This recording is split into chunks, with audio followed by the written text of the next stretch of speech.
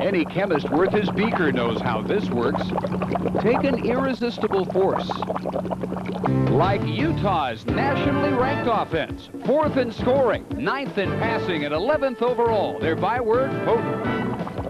Add to that an immovable object, like Arizona's Desert Swarm defense. Number two in the nation against the run, the Cats gave up 10 points or less in six games. Put them together, and it's an explosive formula.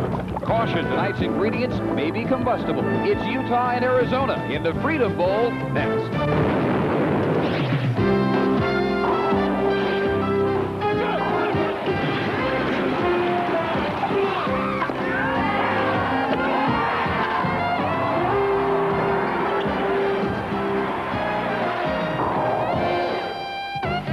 Tonight, the 1994 Freedom Bowl on Raycom is brought to you by Buick and your local dealers. Remember Buick, the new symbol for quality in America.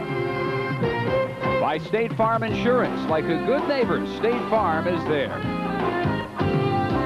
By the Motorola Flip cellular phone. The more you need a cellular phone, the more you need Motorola. And by Visa. Here at the Freedom Bowl, they'll run it to the end zone, but they won't take American Express. Visa, it's everywhere you want to be. Gorgeous night in Southern California as you look down on the Big A, Anaheim Stadium. Again this year, the site of the 11th annual Freedom Bowl, matching the number 14 Utah Utes and the 15th rated Arizona Wildcats. Welcome to Anaheim Stadium. Dave Barnett along with Dave Rowe. We're very pleased you could spend part of your holiday bowl week with us. We think we have as competitive a matchup as you may see all week long. Dave Rowe, these are teams that have basically fashioned tradition out of a vacuum. They didn't have much to speak of in football until Dick Tomey arrived at Arizona and Ron McBride arrived at Utah. Well, a lot of similarities, Dave, and one is that both these coaches have taken their teams to the next level. They're both in postseason play, and they plan to be there for a long time. If Utah had a tradition to speak of, as most WAC teams go, it's a passing tradition, and for the last several years, they've had one of the best in the country in Mike McCoy. Oh, they got a real one in Mike McCoy. He's had 11 300-yard games in his career. This year, 65% yeah. completions, and has an incredible 28 touchdowns to only 11 interceptions. He's a winner.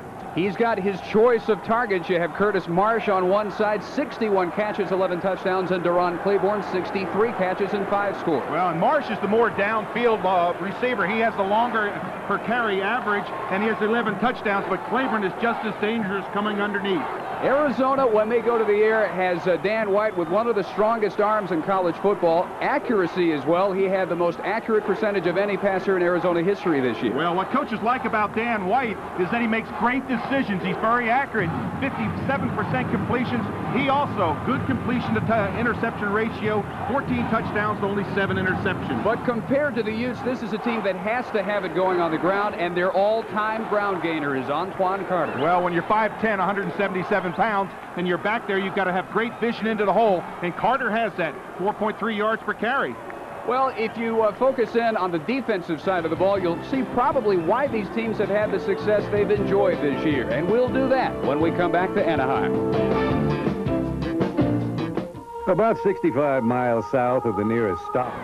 Number 14 and number 15 about to meet at the 1994 Freedom Bowl as we welcome you back to Anaheim you can uh, arguably state that no team in the country has made more defensive progress in the last five years than Utah. They go from last in the NCAA in 1989 defensively, the year before Ron McBride arrived from Arizona as the head coach, all the way to 18th in the nation in total defense this year. And Dave, they've done it because of players like Luther Ellis. You talk about him, he bench presses 475, he squats over 600 pounds, He's got a vertical jump of 31 inches, runs a 4.8 40-yard dash. Sounds a lot like Superman, right? He plays like Superman. And when you think of Arizona, you probably think of the Desert Swarm defense. Over the last three years, they have been no worse than second in the nation in run defense, and their anchor is the All-American Tedy Bruschi. Oh, Bruschi, what a football player this young man is. Last year, 19 sacks. This year, he's got 10. He really sets the tone for Arizona. He plays like everybody's All-American, and he certainly is that. Wildcats about a four-point favorite tonight over the Utes. We'll pause now for these messages from your local station. This is the Raycom Network.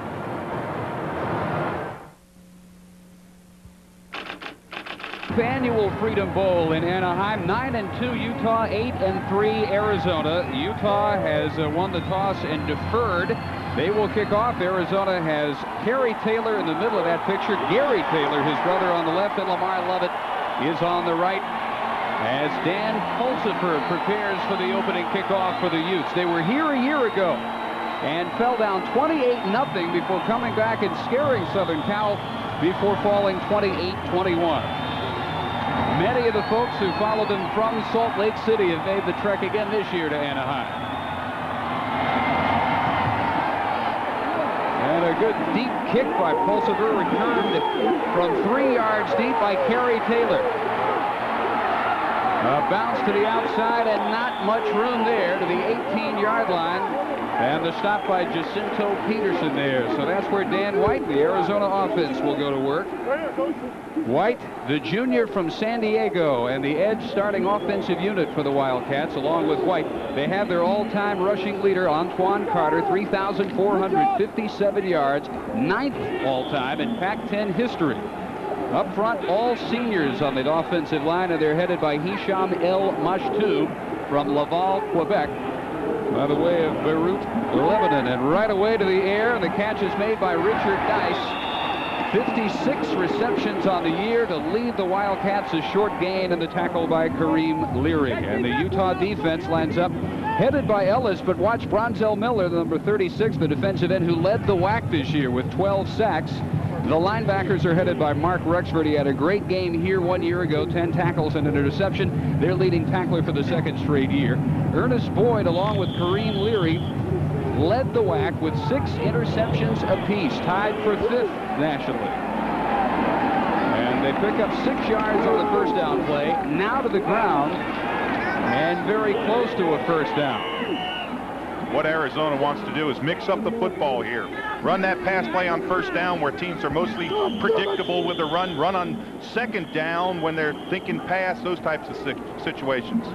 Dick Tomey in his eighth year at Arizona, 54 wins, 34 losses and four ties. His fifth bowl, he is 2 and 2 in the postseason coming into this year.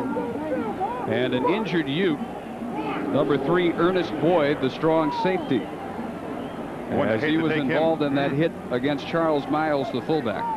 Yeah, they hate to lose him back there. Six interceptions. Watch the watch the left knee right there as it gets kind of planted. Oh, ouch.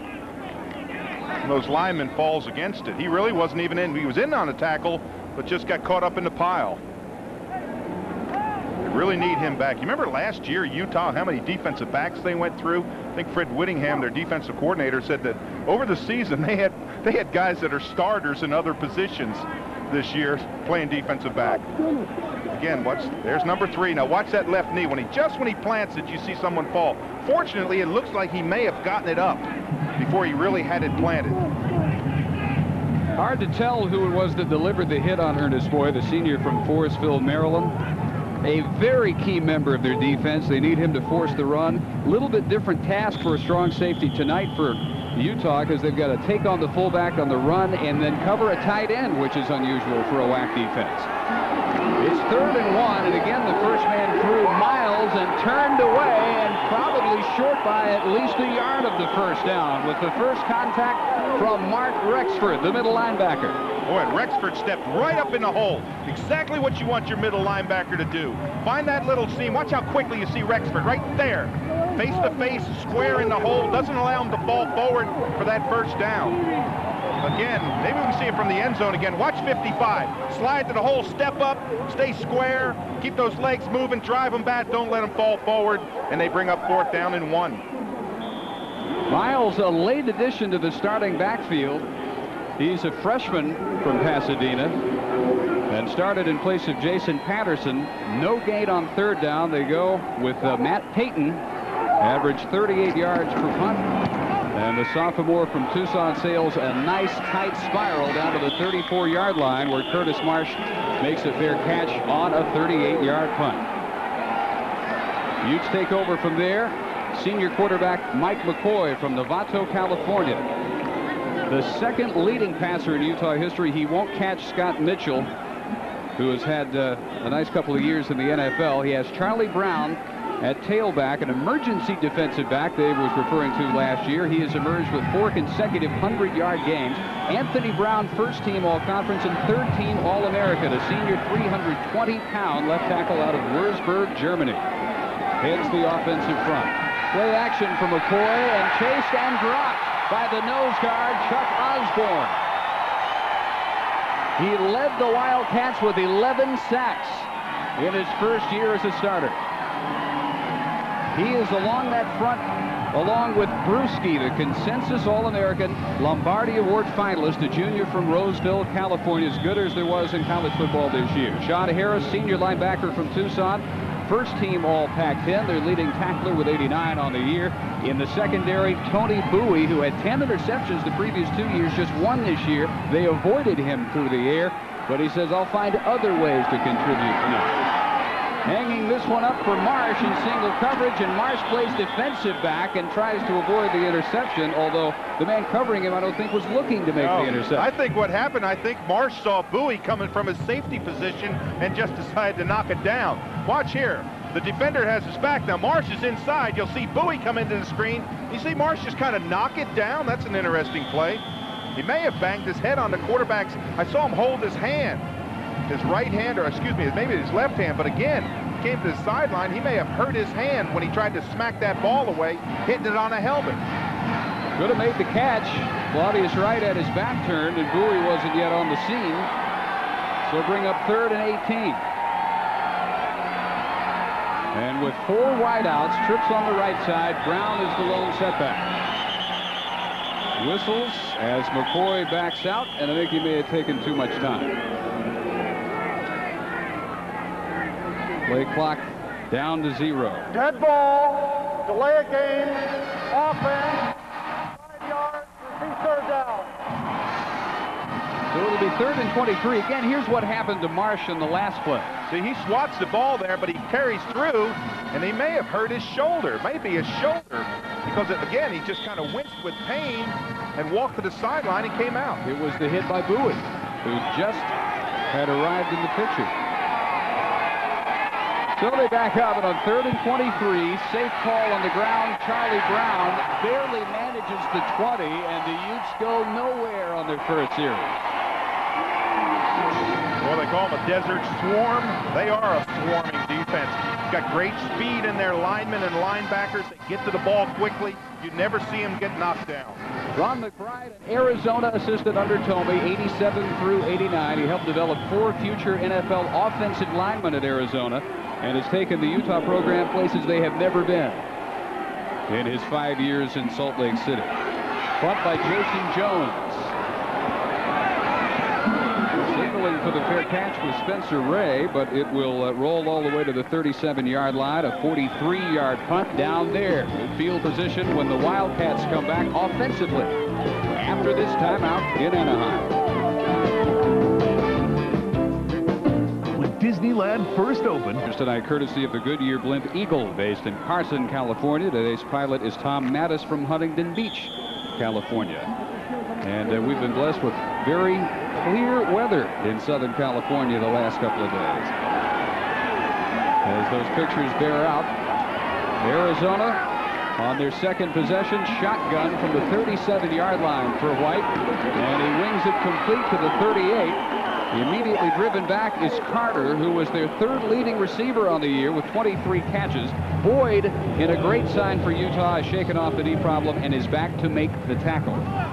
Utah in the first quarter held their last eight opponents scoreless, and both head coaches today thought they would have a real good feel after the first two series. Yeah, that was interesting. Asking them, say, when do you have a feel how the game's going? They said, you let it get two series and we'll have an idea. Utes gave up 10 first quarter points all year, and they were all to Oregon, the team they knocked off. Second down, nowhere for Miles, who was carried three times with very little success, and Mark Rexford has marked him all the way through the middle. Well, what they're trying to do here is get that big pass rush and get that seam where the back can burst through. But again, Rexford steps up in there. You see a good reaction there. Ellis comes back inside. They just do a nice job of reacting back to the football. Now, I think Rexford was a walk-on. Am I right about that? You would know that information. He was uh, just uh, a one-year letterman. Last year's his first year with Utah led them with 112 tackles. That's amazing. And 111 this year. Shotgun again on third and 11. Outstanding protection. The ball is caught and dropped by the tight end, Lamar Harris.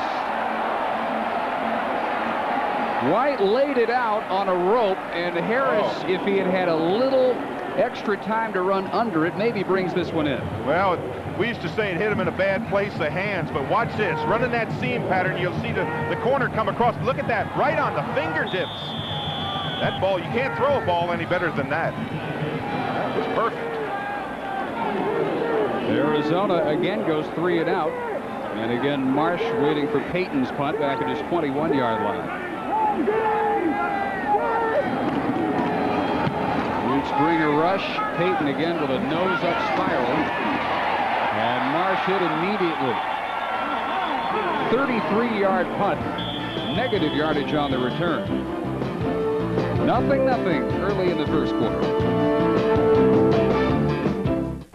Gillette introduces the next revolution. Defensive ball game in the first five minutes in Anaheim and Utah for their second possession starting just across their 30-yard line in a nothing-nothing game. You expect a game like this. Everyone that's looked at this football game said it's going to be one up front, defensive lines against the offensive lines, and they're not wrong so far.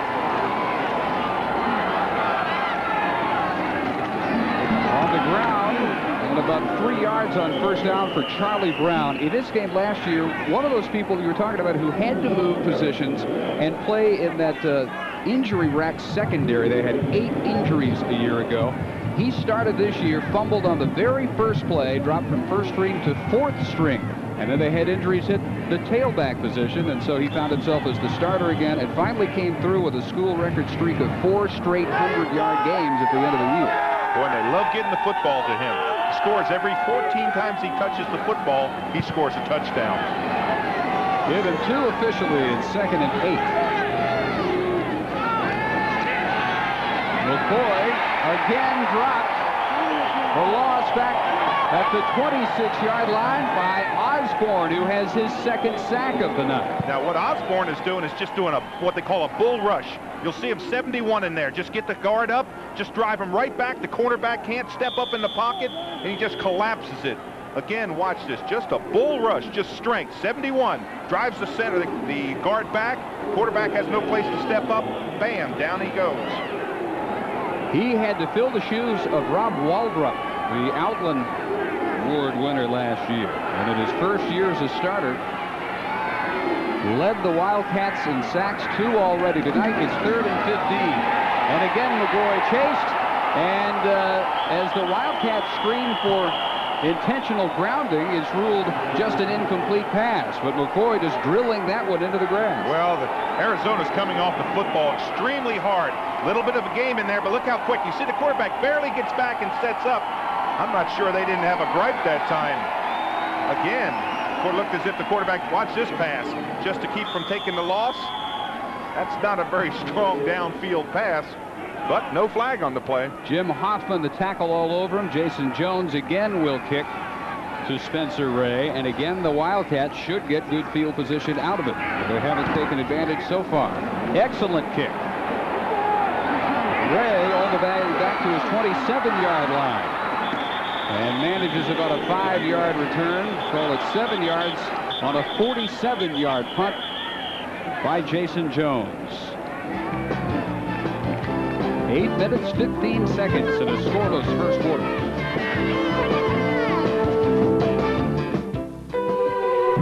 Well, right now they're both immovable forces. Uh, they have a combined total yardage of minus eight on their first two possessions. And for the third time, it's Wildcats going offensively from their 32-yard line.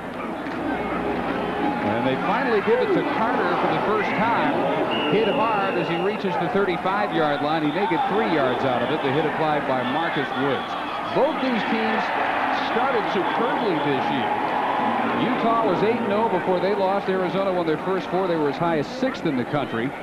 And you can see what happened to Utah. The defense over the last five games collapsed on them, and by Arizona standards, the same thing happened to them. It certainly did. We got a, a flag that was thrown very late on the play. I think it's going to be a personal foul.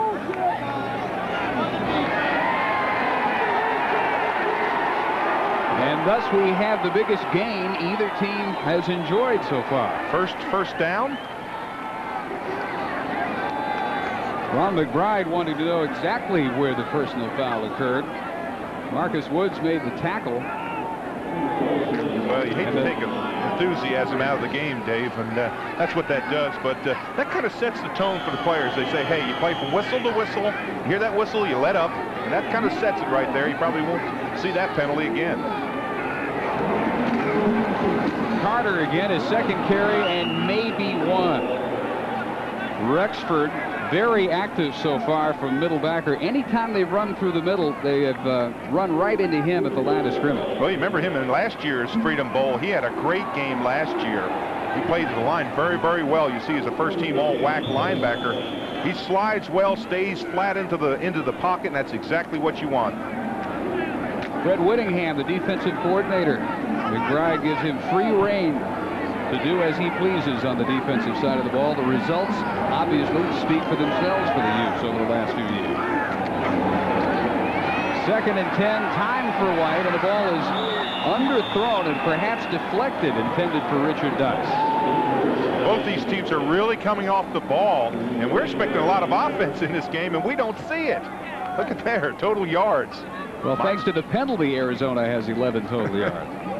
Well, the pocket's just collapsing.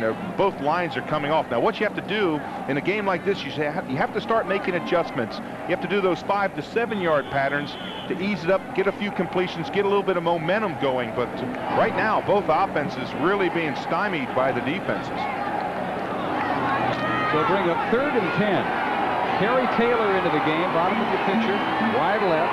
Harris, normally the tight end, comes slot left. Four wideouts out of the shotgun. Blitz is picked up. White delivers and almost intercepted by Keith Harrison, who is kicking himself because he had six points if he had hung on to this ball right in his hands. Boy, one of the players that they really have to concentrate on covering is Richard Dice, number 17. It's at the top of your screen. Watch him come across. Attracts two people. Look at that great play there. oh, Harrison, he's saying, oh no, I'll never get a more open one like that. I had nobody in front of me, and I hate to go to the sideline tell the coach I dropped it. Third time in a row, Arizona forced to kick it away. Although with each kick, they had driven Utah a little bit deeper. This one fair caught at the 12 by Mark. 37-yard punt. They uh, they have some comparable opponents in their 94 schedules. Utah defeated Colorado State in one of the biggest games in the history of the WAC, 45-31. Arizona's first loss this year, which knocked them down from number six in the country, was at the hands of the Rams. And then the, the Rose Bowl-bound Oregon Ducks, a victim early in the season of Utah, 34-16. A winner, 10-9 over the Wildcats. Well, that was a great football game. Utes who began 8 and 0. Lost two of their last three. Brown goes wide and at best might have managed a yard before he's driven out by Sean Harris, the fine linebacker. First team all Pac-10, helped by Thomas Demps, 25. Well, everyone talks today, what's the biggest difference in college football? Players are bigger, stronger, and they're faster. They run the line so well, they don't get knocked down. Everyone, you'll see a lot, almost every team has got defensive linemen that are running sub five second 40 yard dash times. Harris at 245, well below five in his 40 yard dash. Second and 10, no gain officially. This time a little room to the 16-yard line, and again Brown is wrapped up by Harris. You hate to point to big downs, but right now Mike McCoy needs a big down on his third down at about five or six. Misdirection play where the back takes a little step the opposite way, but watch how quickly the linebacker gets in there. And when they hit you, they wrap well. You can always tell the sign of a good coach and good team is that they wrap them up. They don't let them, they don't bounce off them and let them go for that extra three or four yards. Six. McCoy again with four wideouts, trips on the left side, a one-hopper snap, and the ball is caught for a first down at last by Curtis Marsh, driven out at the 25, a nine-yard pickup. What an what an adjustment by McCoy on this play. This ball rolled back. Watch it, never gets off the ground. Look at that. Now, you got to look down, take your eyes off the field, and he just throws a rope out there to, into the flat to Marsh. That's what they had. That's one of those adjustments, Dave, that we're talking about that they have to do. Go to that shorter game, take pressure off those offensive linemen, shorten up the game. The later, later in the game, when you start establishing an offense, you can go farther downfield. A roll and another completion to the 31-yard line goes the tight end Rick Tucker. Big hit by Mike Scurlock, the senior corner from Tucson. Tucker will line up either a tight end or slot back. They move him back and forth. He had 14 catches during the year. Four of them were for touchdowns. Look at his size, 6'3", 244 pounds. You don't usually see those tight ends in the in the WAC. And that may have some bearing on what Utah is able to do defensively. They can adjust to a different look on the other side of the ball than what they're used to. So far, obviously, they've adjusted extremely well. Gain of seven, second and three. And not much, if anything, for the fullback, Rob Hamilton, whose first carry is ended by Chuck Osborne. Boy, this is a this is a trap play on the tackle, but they just crushed the inside. Osborne again, 71. Watch him drive off. He drives the center back into the guard. The guard never got around the center to do the trap play. Again, watch the guard in the center. Boom, they bang right in, into each other. That's Chris Ray, who was going to be the trapper. Osborne, like uh, so many of the Wildcats hailing from California, 45 of them, in fact, on this Freedom Bowl roster, are playing in a homecoming game. Third and five for Marsh. And again, Marsh has to play defensive back and break it up with Scurlock and Bowie in the picture.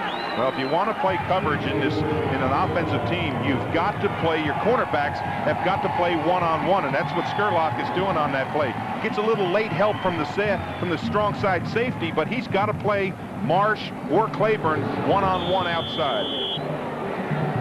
Jones has had a good start. Ray waiting for this one at the 31-yard line. What's the record for punts in this game? We've we're, had a bunch. We're approaching it. 4.39 still to go in the first quarter. They're caught 34-yard line, and a flag is down at the line of scrimmage. The cut uh, traveling 37 yards if the play stands, but uh, right where the ball was snapped is where the flag lies. Well, and it was about fourth and about five yards to go, so it's a very critical flag. And I see Utah clapping their hands.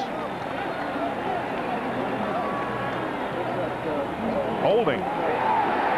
Oh, boy. That's not what you want to do. You don't want to give a, a, team like Utah an opportunity again. If you're an Arizona fan, you don't want to let them have that football. Now they get an automatic first down. Holding on a punt, not well, something you see every Well, game. holding the two outside guys that are going down to cover. But although the flag was thrown right in the middle. Big Eight officiating crew conferring with one another. And I think they've determined that since it's a post-possession yeah. penalty, that it will be Arizona ball. Yes, once once it, it's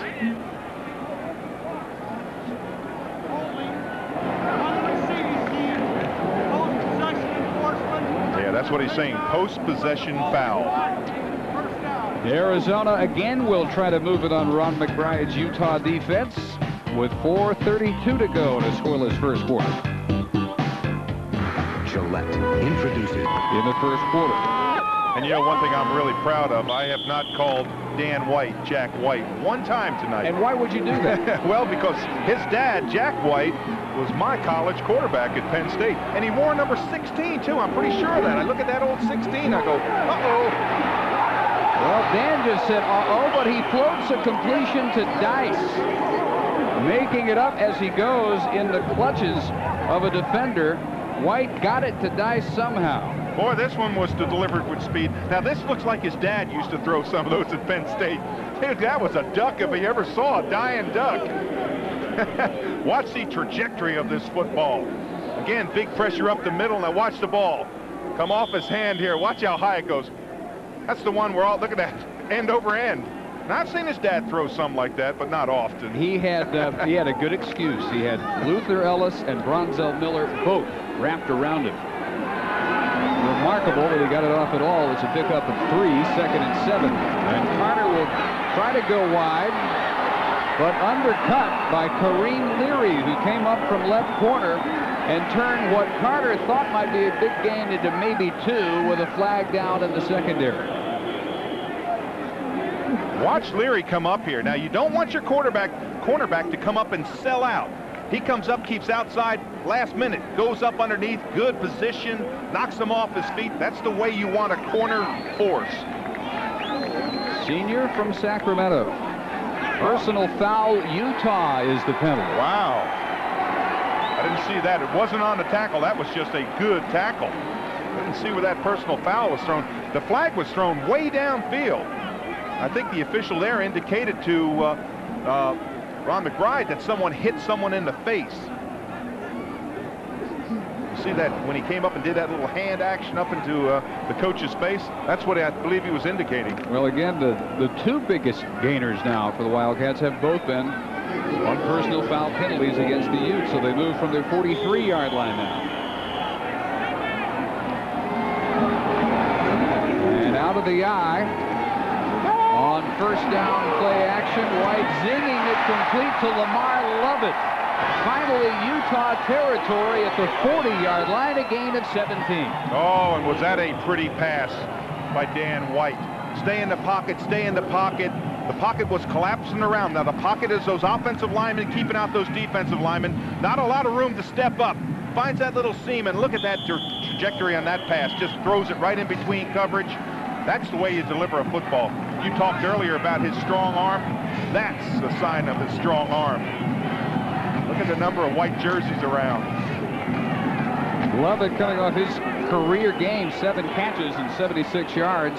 And they come from behind win over Arizona State in their finale. First and 10 through the middle. And a couple at best on the carry ended by Kaufusi, Henry Kaufusi bringing down Carter. You have Jeff Kaufusi, 99 at left end. Henry, 57, his brother, one of a half dozen Kaufusi brothers. yes. They have uh, Steve on the sideline, graduate assistant. They have Doug, the younger brother, who is signed but is currently on a Mormon mission and is out for the next couple of years. Henry, 265 pounds, thought he was headed to BYU. They ran out of scholarships. Said, sorry. Uh, Utah called him and said, well, we, I think, can find a space for you. can find one. And here he is starting. Second and eight. And complete for Richard Dice, who has a first down at the 28-yard line, a pickup of 11. Again, good timing there. His offensive lineman. Utah's coming hard on the rush. They're really coming off the football hard. But again, watch this in the middle. There's Luther Ellis. Number 83 just throws his center out of the way. Boy, that's going to be a matchup all day. I like Ellis. Where's that? One of those cut-off jerseys. Looks like he's a wide receiver out there. I wonder if he does that when it's snowing out. Doubtful. But he's been fairly well contained so far. Movement twice by Bronzell Miller on the right side defensively, but he reached over and tapped uh, his opposite number, Pulu Pumele, and indicated that he was drawn offside. Now, if you don't, if your offensive lineman didn't jump, that's a good heady call by a quarterback. Come up, change the cadence. He guessed that they're jumping on that snap count. He changes the cadence, gets that free five yards. Again, watch, maybe we may be able to see him. Watch the head of the quarter. See that right there? That's the, the influence that he's putting on that ball. Hut, hut, he really emphasizes that second hut. So they move from the 23 now on first and five. By far the deepest penetration by either offense here in the first 13 minutes. Lovett goes right, Dice comes left, and White looking that way, hangs it up for Carter, and it is stolen away from the interceptor by Ontiwaun Carter. Touchdown, Arizona. I thought Garrett had that football. I mean, he was standing right there. He said, hey, boy, I played this thing perfect. It's right into the corner. He jumps right up, takes the football, and has it stolen out of his hands. That is incredible. What a play. Edwin Garrett, like Keith Harrison before him, had an interception right in his hands, and Carter able to swipe it away and complete a 23-yard touchdown. Well, this one may be worse, though. The other one was dropped. This one, I believe, he caught. He actually he had to have the football. He's standing back there. He's playing that corner position. He plays the ball just perfect. Watch for him. Number 29. He's going to be in white, right to the right of your screen. Watch him play this football. It's, it's a high trajectory. Look at him right there. I've got it. I've got it. How in the world? There's where he stole it out of his hands when he was coming down. Again, I've got it. That's an interception. Oh, he turns right around and gives it to him. Oh, that's an amazing play. It almost looked as if he handed the ball off. Watch him. He'll hook one arm, and then with the other arm, this is a one-handed steal by Carter. This is amazing. Look at that. He has it right there. Now he turns. He takes it out of his hands. Oh, mercy. Extra point added by Steve McLaughlin, and it is 7 nothing in most unusual fashion. he said, I had it all the way. There's an upset young man. He was looking at maybe a, a, a long run because he was out in the flat. He had a long sideline. I mean, he was going to take that football and go with it. what, Arizona is really fortunate. They're not behind 14 to nothing in this game. Absolutely. Two would-be touchdown interceptions. One dropped, the other stolen, and it's 7 to nothing Wildcats. I'm a defensive player, I'm shell-shocked right now if I'm on Utah's side. I'm just shell-shocked. I can't believe it if I'm a defensive player. They played that ball as well as you can play it. All-American kicker McLaughlin angling this one to the 10-yard line, and Cal Beck with a return across the 40, and McLaughlin slows him down, finally dragged to a halt at the 46-yard line, a return of 44 yards. And all of a sudden, the offense says, hey, wait a minute. The defense may be shell-shocked, but we're not shell-shocked. That 67-yarder by Beck set up the winning touchdown in their season finale against BYU. Next time he gets his hands on the ball, 44 yards. What a play this is. Set up the kicker right here, try to cut back underneath. The kicker does a good job to make him cut back underneath. That brings help from the from the cover team. Arizona scoring drive of six plays and 77 yards. Utah, though, the minute 47 of the period from the Arizona 48. And to the 43 goes Brown before he is uh, interrupted by Harris. Utah's first 12 snaps averaging nine inches. uh, they're used to these slow starts. 48 nothing the first quarter of the last three years. Uh, that's including our first quarter tonight. Yeah, you think of last year's game. They went in at halftime. I believe they were down 28 nothing. They came out the second half, and a lot of people said that if that game had lasted last year two or three more minutes, Utah would have pulled it out and won. USC coaches said that. and I believed it. Two years ago, fell way down to Washington State in the Copper Bowl. Down 7 to nothing here, but McCoy over the middle, incomplete, intended for Rick Tucker at the 25-yard line. And Dave, you see the way the tempo changes a little bit. McCoy using that, that mix-up on the pass plays, that little short pass he's had some success with on that last series. It takes a little bit of pressure off those offensive linemen because you're not throwing downfield using that three to four second pass pattern, having to having to have protection for that long. They really need to capitalize on this drive. They've got they've got great field position from their return team. They need to put some pressure on Arizona. Under a minute now in the first period. Wildcats twice move, but get back. And on third and five, McCoy has Tucker this time, and he should have a first down to the 36. Well, that was a good stretch by Tucker that time. Great concentration. It's a 244-pound tight end.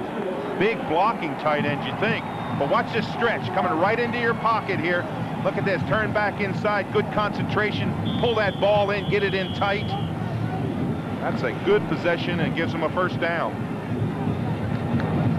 Usually when they go his way, they mean business. Four of his catches for touchdowns out of a total of 14. First and 10, 37-yard line. Clock rolling at 32 seconds as Brown finds a seam off left tackle to the 31 on what might be the final play of the first quarter. Well, that's a good cut. I like Brown's feet in the backfield. You look for a running back to have that quick feet where he can change direction. And that time, what looked like a simple play ended up about a four-yard gain because he made a great cut when he saw that hole open up.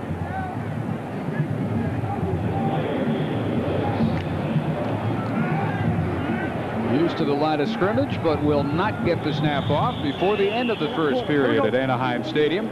7 to nothing Arizona. We pause now for these messages from your local station. This is the Raycom Network. The interviews are about sex. What about As we begin the second quarter, 7 to nothing Arizona, but Utah driving at the Wildcat 31-yard line. Back at Anaheim Stadium, Dave Barnett along with Dave Rowe. Best drive so far by the Utes, and it'll be second down and five to begin the second quarter. Marsh and Claiborne both go wide right. Hamilton and Brown split behind McCoy. Bobble snap, McCoy chase, dropped. This time the sack by Bruschi. Arizona's third sack. The first two were by Osborne. This one by Bruschi, who was second during the year with 10 sacks. Well, he's so quick coming off the ball. He runs right around the tackle. Then you're not going to make it outside there. You can't run around somebody like that. He's got great speed. And you heard the crowd all brew, brew, Brewski.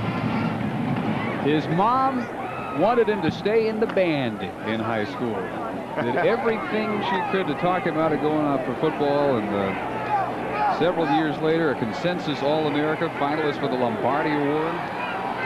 6'1", 255. It'll be third and 19. McCoy over the middle and caught by Claiborne. But now they say he juggles it, and it is incomplete at the 38-yard line. Now, the numbers through the first quarter look this way. Only two Utah first downs. You Utah with minus three on the ground. That's typical against the Arizona Desert Swarm defense, though. Only 22 through the air. And uh, Arizona with 68 total yards.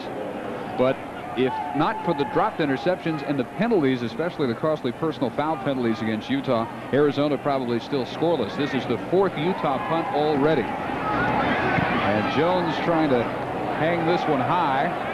Ray will let it drop and on into the end zone.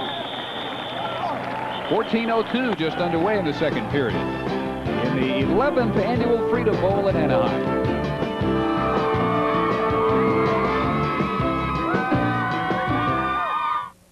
It was a...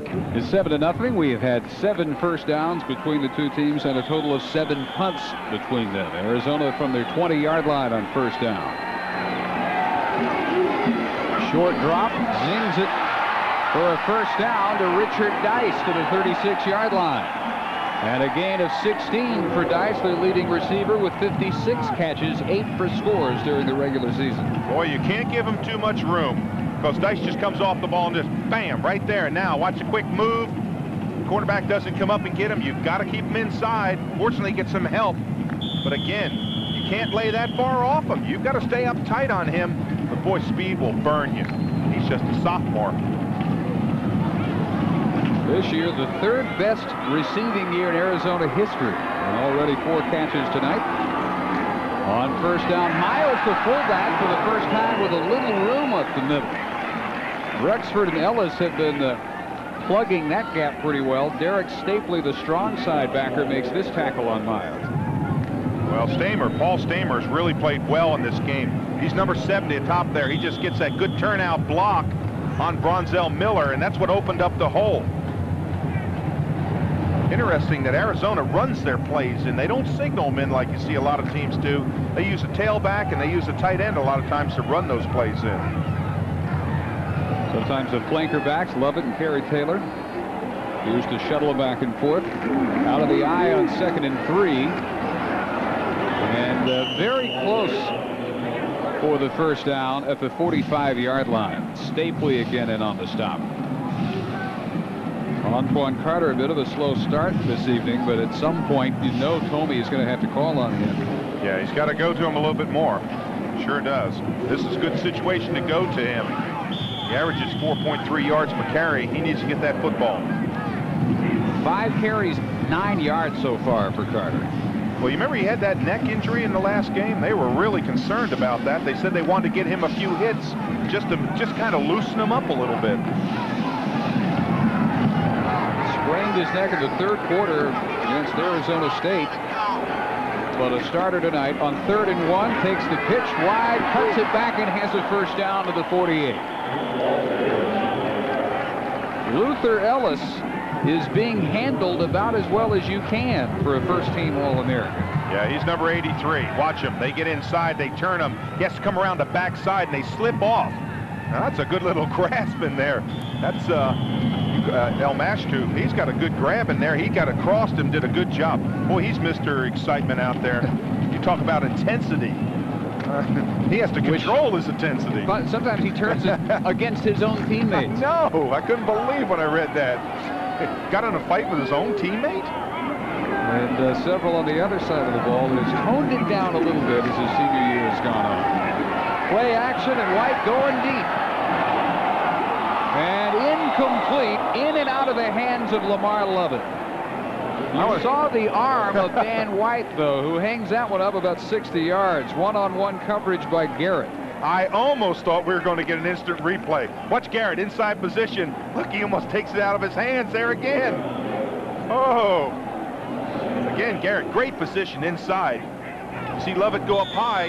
He has the football right there. No, he doesn't have the football. Good play by Garrett at the cornerback. So second and 10. Lovett replaced by Kerry Taylor. At the top of your picture, Dice comes wide right, White against shotgun. Handles the low snap. Waits and delivers, and this one is intercepted by Harold Lusk.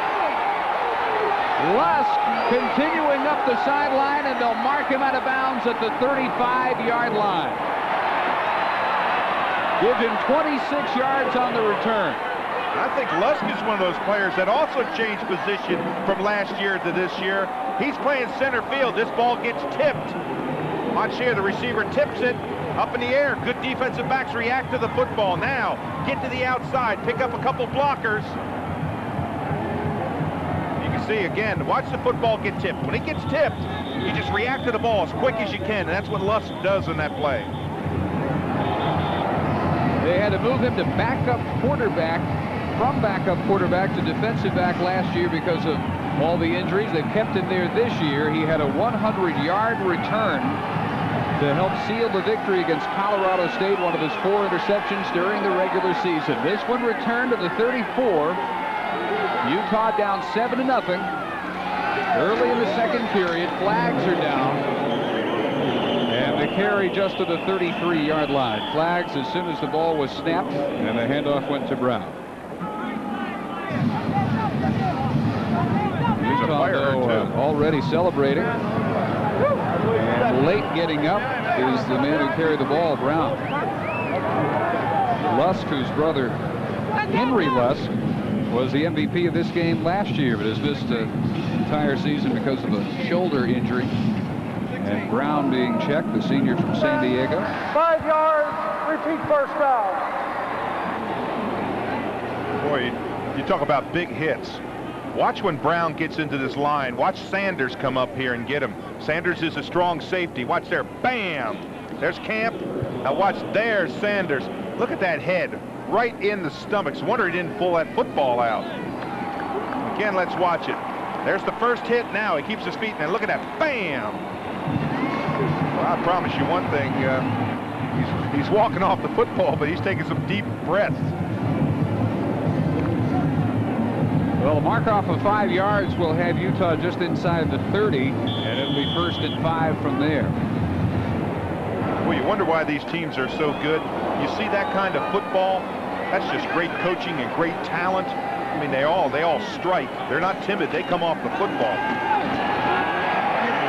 Give to the fullback Hamilton for nothing. First man there was the outside backer Chris Lopez. And we pause now for station identification. This is the Raycom Network.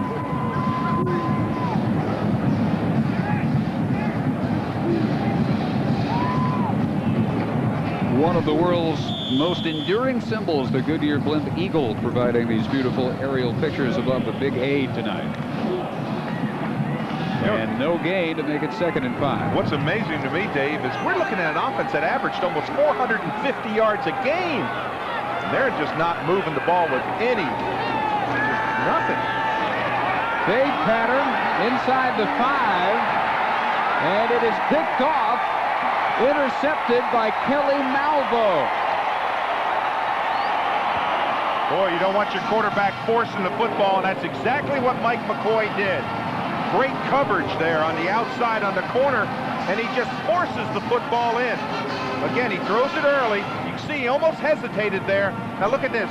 Quarterback reading his eyes, reading his eyes, plays inside coverage, comes down on about the one-foot line, but just an excellent play there. Malveaux, a true freshman from Long Beach. They say he's going to be a tremendous football player. He is one. You don't see true freshmen. You see that redshirt freshman where they, they, they take that year and get kind of acclimated to college life. But you have to realize, wasn't long ago that young man was uh, getting out of high school. Yeah, how good do you have to be to step right in and start as he did uh, for half the season well, for the for the 10th best defense in the country. Sure, and beat out a cornerback like Claudius Wright, who was a senior, and he's an excellent football player. Well, White will try and gouge out a couple. Oh, and fumbles the ball at the five-yard line, and it is recovered by the Utes. Oh! Ernest Boyd hops on the fumble by Dan White on the quarterback sneak. Well, what happened on this play is they stuffed the center. The center really never got off the line. Look at the center. He actually gets pushed right back into the quarterback, and you see people coming in there, and right there, the ball just pops out. You know, as a quarterback, you're taking that football, and you expect to see the center get punched right up in the air. That's what caused the fumble. That was just great line play. You got Hoffman up there, Osborne. Well, excuse me, that's Luther Ellis, I should say, that was up there, and Kaufusi that you talked about. Those were the two players that were up front and stuffed that center. Boy, what a turnaround.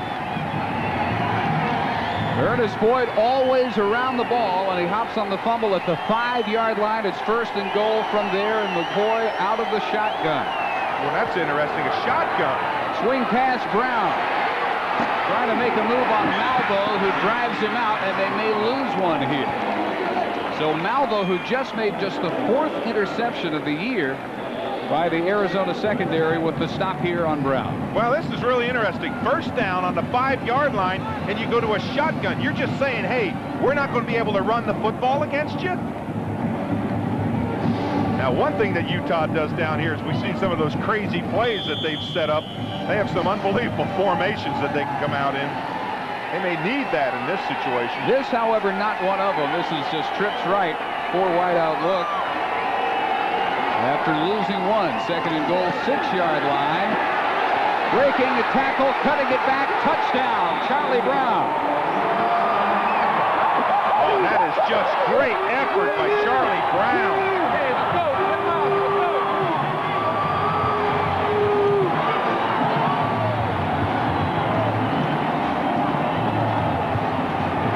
Sean Harris, number 49, he had him in the backfield. Watch right here. There, he's got him, right? Nobody helps him. He pulls that foot out now. He runs the last seven, eight yards all on his own. That's just great individual effort. Brown, who has had as up and down a year as anybody on the Utah roster, within a point of the tie, and Dan Pulsipher makes it 7 to 7 with 10 minutes and 3 seconds in the second quarter.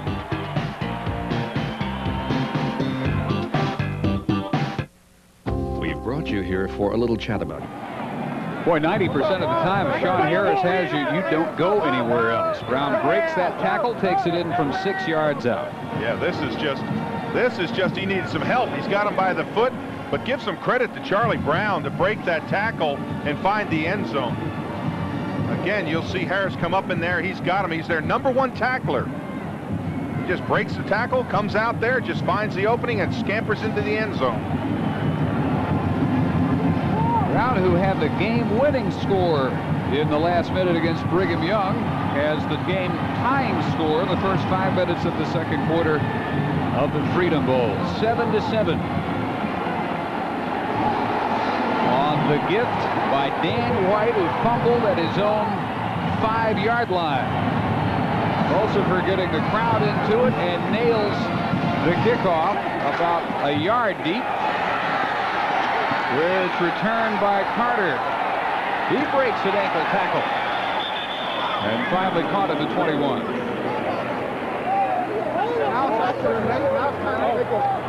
Well, if your name is Charlie Brown, you can imagine the hardships that you have to go through in life but he had a, a, good enough sense of humor about it. To have a dog and name him Snoopy. no, don't tell me that. He has a dog named Snoopy. It was even a white dog. Now you're going to tell me his sister's name is Lucy. No. Oh, okay. had a white dog. It wasn't a beagle, though. It was a white lab.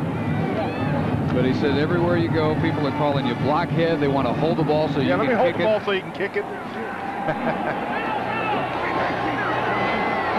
he has tied this one. White back to work from his 21. Oh, Luther Ellis. Oh, I want to tell you something. Luther Ellis just picks up the center. This is Mastroop. He's 295 pounds.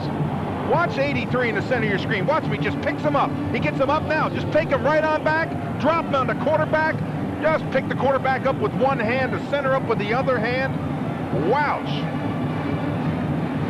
It's called leverage. At the end of the game, Dave and I will be selecting the Buick player of the game.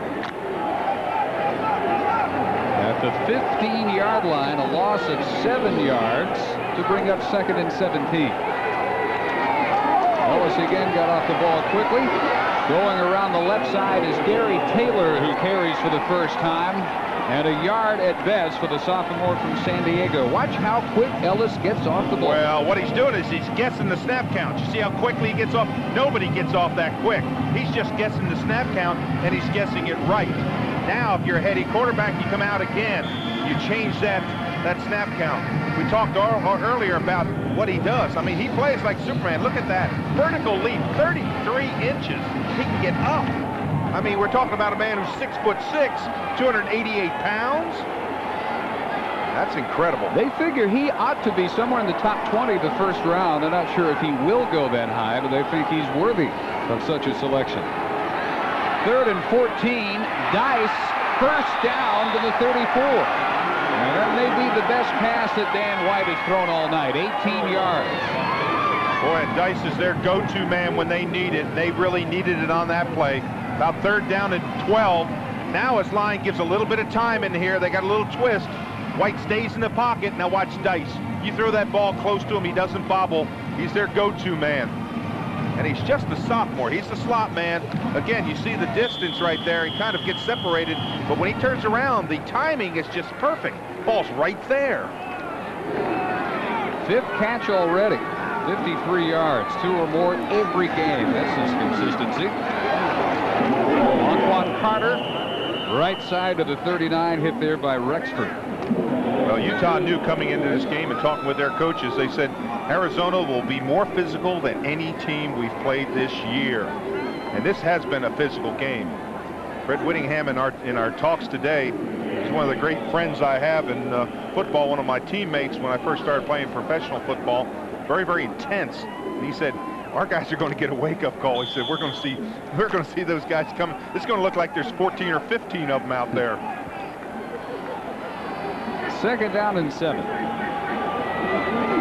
Seven and a half mark, second quarter. That intended for Dyson. it sails a good five yards over his head. You know, when you think about a WAC team doing what Utah's defense has done, almost unprecedented. Oh. Since uh, several years ago, BYU had some good defenses, and Whittingham was at BYU Sure. at that point. But most of the year, they were in the top 10 offensively and defensively in the nation. Well, every time we've looked at a WAC team, we've thought offense. Remember, outscore them. 55 to 54, 38 to 34. That's the way the WAC just has that, that history or tradition of playing. And all of a sudden, in comes this new coach, fellow named McBride, and he says, hey, we're going to play some defense. He, may, he has really turned the WAC around as far as a defensive team. Rexford showing blitz on third and seven. Caught. Should be a first down. And again, the man getting open is Dice. He had good coverage by Kareem Leary, but dives and should have the first down. Well, Dice is just the go-to man. Interesting delivery by White. We can't see it on there, but this is just an out pattern. Good, quick delivery, but White just almost sidearms that football. He doesn't have that great mechanics where he throws the ball way over high. It looks as if he kind of almost slings the football, but he gets great strength on the ball. He delivers it quickly. Has the great arm strength, and yet the most accurate passing numbers any Arizona quarterback's ever had this year. Through the middle, Gary Taylor, Kerry's brother. He is the younger brother, the sophomore from San Diego.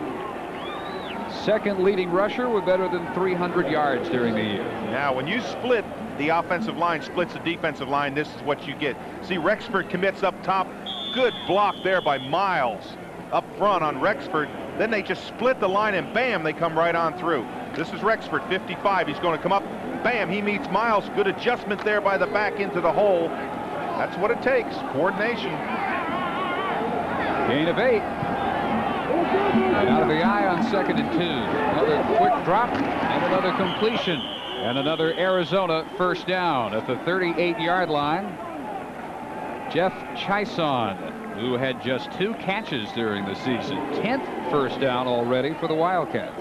And that is an interesting delivery. I haven't seen Dan White throw the football, but it's different from his father. His father used to have that high delivery. He's got that almost, it almost looks like a sidearm delivery, but he's got great whip with it. Delivers it with a lot of power. Like his dad, he began at Penn State and then transferred, actually sat out two years before finally getting the starting reins last year. Ontiwaun Carter at the 38. Henry Kaufusi along with Rexford on this down. Oh, and I like the way Rexford fills. Stay square, come up in the hole, bam. And you see they don't fall forward when he hits them. They call him a great college football player. At 6'1". As a middle linebacker, he can play much beyond here, but uh, they think uh, very highly of him. 11 total yards all Utah has managed, and yet it's tied. That's incredible. And they can say they should be ahead if they'd had the interception. That's right, they had. Well, they certainly shouldn't be behind. Arizona should not have scored on that interception. White hanging this one up and broken up. Intended this time for Kerry Taylor. Leary made the deflection. Boy, and Leary plays this ball as well as you can play it as a cornerback. He looks at the receiver's eyes. When he sees the receiver look back, he looks back at the ball. Now, keep that inside position. Keep the ball from the receiver. That's just great corner play. You, in the WAC, you know as well as I do, you get a lot of opportunities for learning experiences. 11th play of the drive.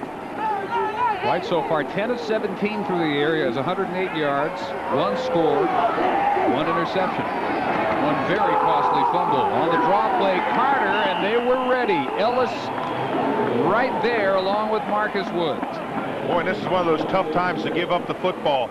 You're on about the 35, 36 yard line. You've got to punt it because it's fourth down and about eight yards to go, but you don't want to punt it into the end zone. You know, I think you're right about uh, uh, the look-alike contest there that we were talking about today. Steve McLaughlin won the Groza Award as the outstanding kicker in college football. Football Writers Association All-American. This will be a 54-yarder, which would equal his career best.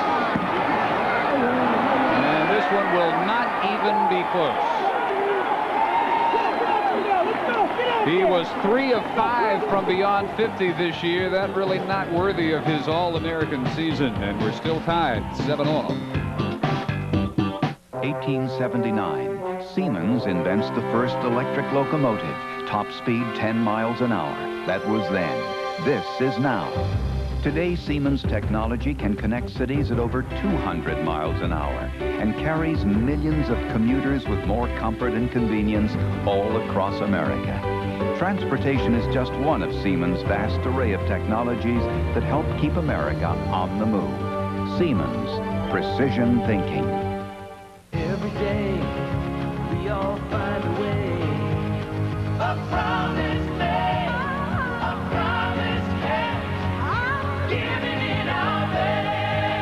America's most complete source of auto parts, a national warranty program, and customer service only Napa can give.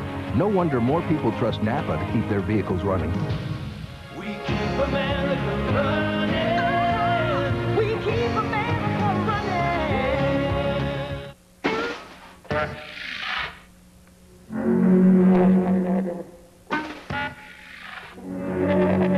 running. Truth is, cellular phones look a lot alike. Fact is, they're not. Often imitated, never duplicated. The one and only Motorola Flip cellular phone. The more you need a cellular phone, the more you need Motorola. Well, finish your thought. All right. Well, who's he look like? look Uh, at him. Dick Schaap? You're exactly right. He even looks more like him without his hat and his uh, his uh, microphone on there, his headset. Okay, take it off, Coach, so I can see. There he is. Look at him. Adjust the hat. Well, who does Ron McBride look like then? ah, you're gonna have. I'm going to study that one a minute. Utah with 11 total yards, still tied at seven apiece. Charlie Brown turned away, and the first contact made by the defensive end, Akeel Jackson, 96, a senior from Auburn, California. This is the Desert Swarm right well, here. watch it. There's no place to go. He starts all the way over on tackle now. Come along the line, and right there's Jackson. You wonder why they called a swarm? Defenses love nicknames. You know, you've had the fearsome foursome and the purple people eaters and all those different uh, names. This one just loves the acronym, the Desert Swarm. And they do. They swarmed on defense. Gain of one. Brown again, this time some room. And Brown runs into Lopez and Bowie at the 45. He'll be a yard shy of the first down. I think the most remarkable thing about the Arizona defense, 59% of the opponent runs this year gain two yards or less. So this is a real aberration. It certainly is. This is trap player up the middle. And then you talk about you talk about that stat. What's amazing is when I added it up and you talk about 59% of their runs under two yards, look at tonight. They're doing an incredible job. Utah hasn't averaged a yard. 32% of the time you get no gain or loss. So by that standard, Brown just broke a big one. Incomplete. On third and one, they go to the air, and it was intended for Claiborne. Boy, what a call on that play. And that's, uh, it's almost like you're saying, hey, we don't think we can make a yard. You got to go for that first down. Now you've got to punt it, give it back to Arizona. They've got a lot of confidence in that passing game. Claiborne fairly well bottled up so far today. And for the fifth time, Jason Jones is on. Spencer Ray waiting at his 20. Managed only two first downs in this first half. Jones with a wobbler, and it takes a great Utah bounce, and they will chase this one down at the six. 49-yard punt with 2.51 remaining in the first half. Back after these words from your local station, this is the Raycom Network.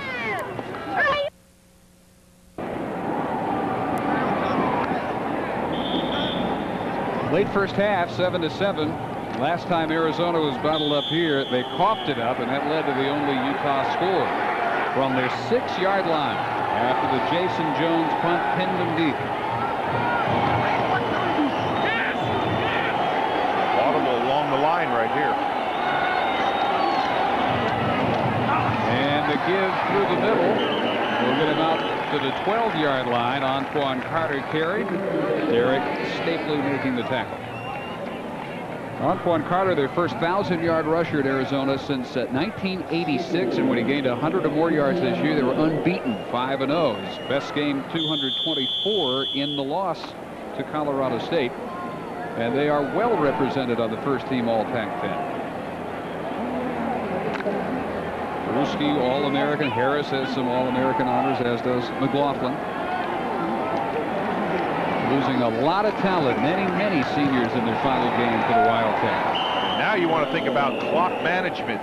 You're down to about two minutes. If you're able to hold them here, you can get that football, get it back, good field position, at least get a field goal try because they have Utah has got a great field goal kicker as far as distance. He's got a strong leg. Well, as a matter of fact, you got three timeouts if you're Utah. Why not call yeah, one right why here? not? That's that's exactly what I was thinking. Don't let that clock go down. They stop them here. It's third down about three. Now this play started with two minutes. It's down to 140.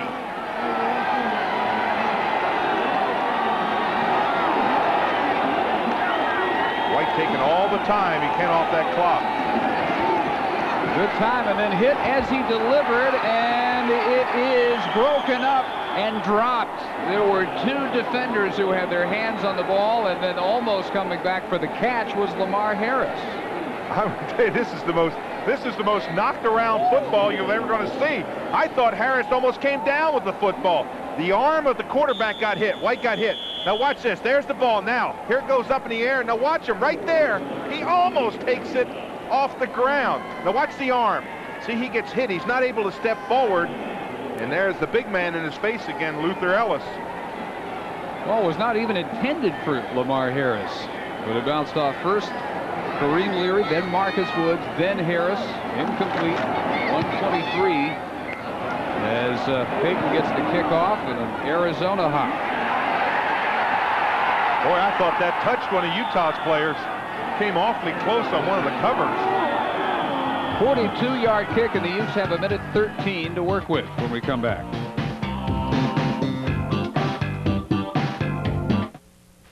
It still bugs me that I waited to try Old Spice High Endurance just because I thought all deodorants worked the same. Dumb. This proves it's the best. Better than the leading stick. It evaporates less quickly. It also lasts longer. Protects better. You can't ignore that. Or this guarantee. Try it. If you don't think it's the best, call 1-800-PROVE-IT, and they'll buy you a stick of yours. You gotta figure anyone that serious about deodorant deserves a serious shot.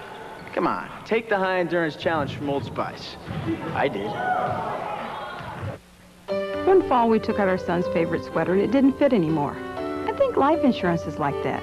You don't realize how much your life has changed until you take out your policies and sit down with your agent. That's why we have the State Farm Family Insurance Checkup. I can help you see if your coverages are up to date or if you've outgrown them. Then you make the decision. A policy has to fit, just like a sweater. And like a good neighbor, State Farm is there.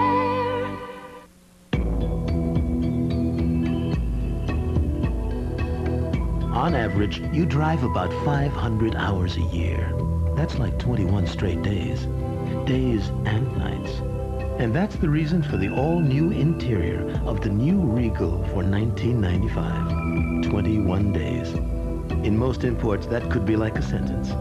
In the Buick Regal, it's more like a three-week vacation. In the 11th Freedom Bowl, 7 to 7, Utah with all three timeouts and a minute 13 to work with as they go from just outside their 45-yard line. Haven't moved the ball really to speak of all evening. On the ground, breaking a couple of tackles, picking up about four yards on first down. Juan Johnson, a true freshman from West Valley City, Utah, gets his first carry. And this is amazing. Now the clock is under a minute. It doesn't even seem like they're hurrying. I, this is really surprising to me. You talk about clock management, using that clock. Why do you take the timeouts into the end zone? They're not even hurrying, breaking the huddle. Also for the kicker, waiting to see if they get him in range, but now they're down to 41 seconds. And this one is uh, caught, but not enough for the first down. Kevin Dyson also doesn't get out of bounds. He manages the 47, And now they will burn, finally, that first time out. And Dave, if you want to see a really neat angle, this is what coaches would love to see. From the blimp, this is exactly like you draw it on the chalkboard. You can see the catch there out into the flat. He tries to get out of bounds. He comes down in bounds. And they had to stop the clock via the timeout. 29 seconds. Again, you talk about, I look at clock management. Why take those timeouts into the end zone? Why not call one down there on that third down play? They would have had the ball with almost two minutes. You've got to get somewhere between around the 30, 35 yard line to get in field goal range. Well, now with 29 seconds, you have two timeouts, but you first got to worry about the first down. So you think on third and three, they're thinking short yardage here. Yeah. That carries them down somewhere probably around 20 seconds. Well, you've got to you've got to complete that short pass. It's third down about three to four yards. You've got to complete that short pass. You almost think that they're going to go short pass. Now, again, they may decide, hey, we may go long on this play and just risk it all with 29 seconds left. But you got to be thinking first down. But then if you get first down with 29 seconds, you're going to have to use another timeout. Then you only have two or three more plays. Those numbers for McCoy just don't compute. This is the uh, sixth leading passer in the nation that Arizona is holding in check. Just did get it off, and it's incomplete. He was on his way to being sacked for the third time in this first half by Osborne when he got rid of that one, and it stops the clock at 25 seconds. Boy, if you're a quarterback and your pocket just crumbles around you, and watch this big push up in the middle. Big guys coming off the ball. You see 71 in there. That's Osborne. He's dragging him down again. Boy, this is tough day for a quarterback. Well, Jones will have to kick, and Arizona may get a snap or two. Just an interesting first half of football. Maybe they knew something I didn't know. Maybe they knew they weren't going to make that first down. Gave him some pressure, but he hangs one up, and Ray makes the fair catch at the 15, 32 yards, but Jones again able to hang this one inside the 20. And uh, Arizona, with all three timeouts, takes over with 17 seconds. Boy, but you got a guy like McCoy, even though he's done nothing in the first half, it is surprising that they, in effect, took the ball out of his hands on the last drive. Well, you're looking at a quarterback in McCoy that threw for over 3,000 yards this year. That's an incredible thing. 28 touchdowns, only 11 interceptions, 65% completions. That's incredible.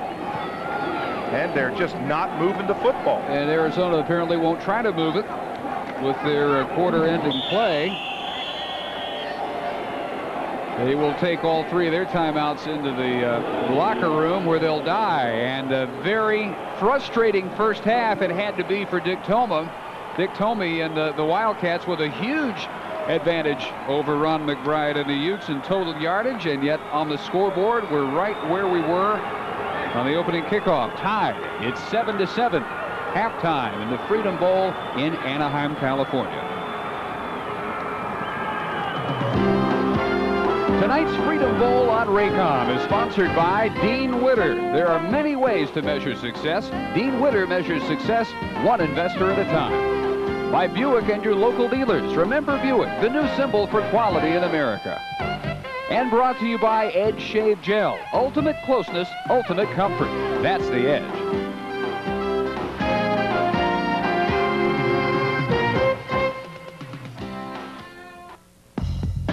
If you're in high school and you The 1994 Freedom Bowl on Raycom is brought to you by Toyota. I love what you do for me. Toyota. By the new Gillette Sensor Excel with microfins that set up your beard for the world's best shave. And for leading edge technologies in electronic and electrical engineering, depend on Siemens Precision Thinking. Arizona has dominated every which way except on the school scoreboard.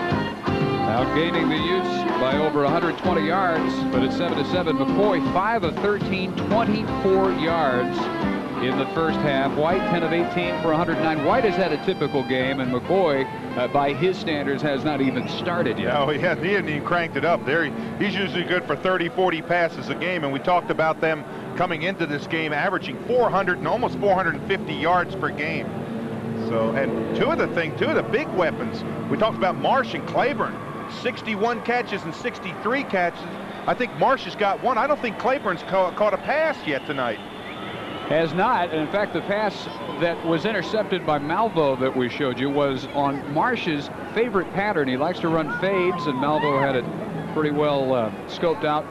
Came up uh, one-on-one -on -one coverage with a big play for the interception. So only one catch by their favorite receiver something that you know has to be discussed in that halftime locker room. How do they get their wideouts loose from the Arizona secondary? Well, in, in talking with the coaches, we talked about what did they say at halftime. It was really interesting. They go to each position. They talk about what they did right, what they did wrong. Not a lot of yelling and screaming, a lot of teaching, a lot of making adjustments, those type of things. Talk about Utah and their possessions in the first half. Look at that. How many punts? One, two, three, four, five, six punts. Amazing. So six of eight possessions go three plays or fewer, although they scored on one of them.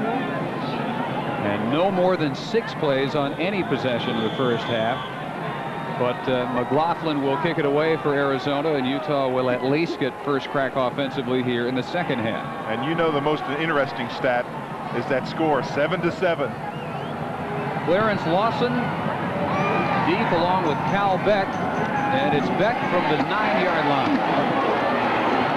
Beck with a 44-yard return in the first half.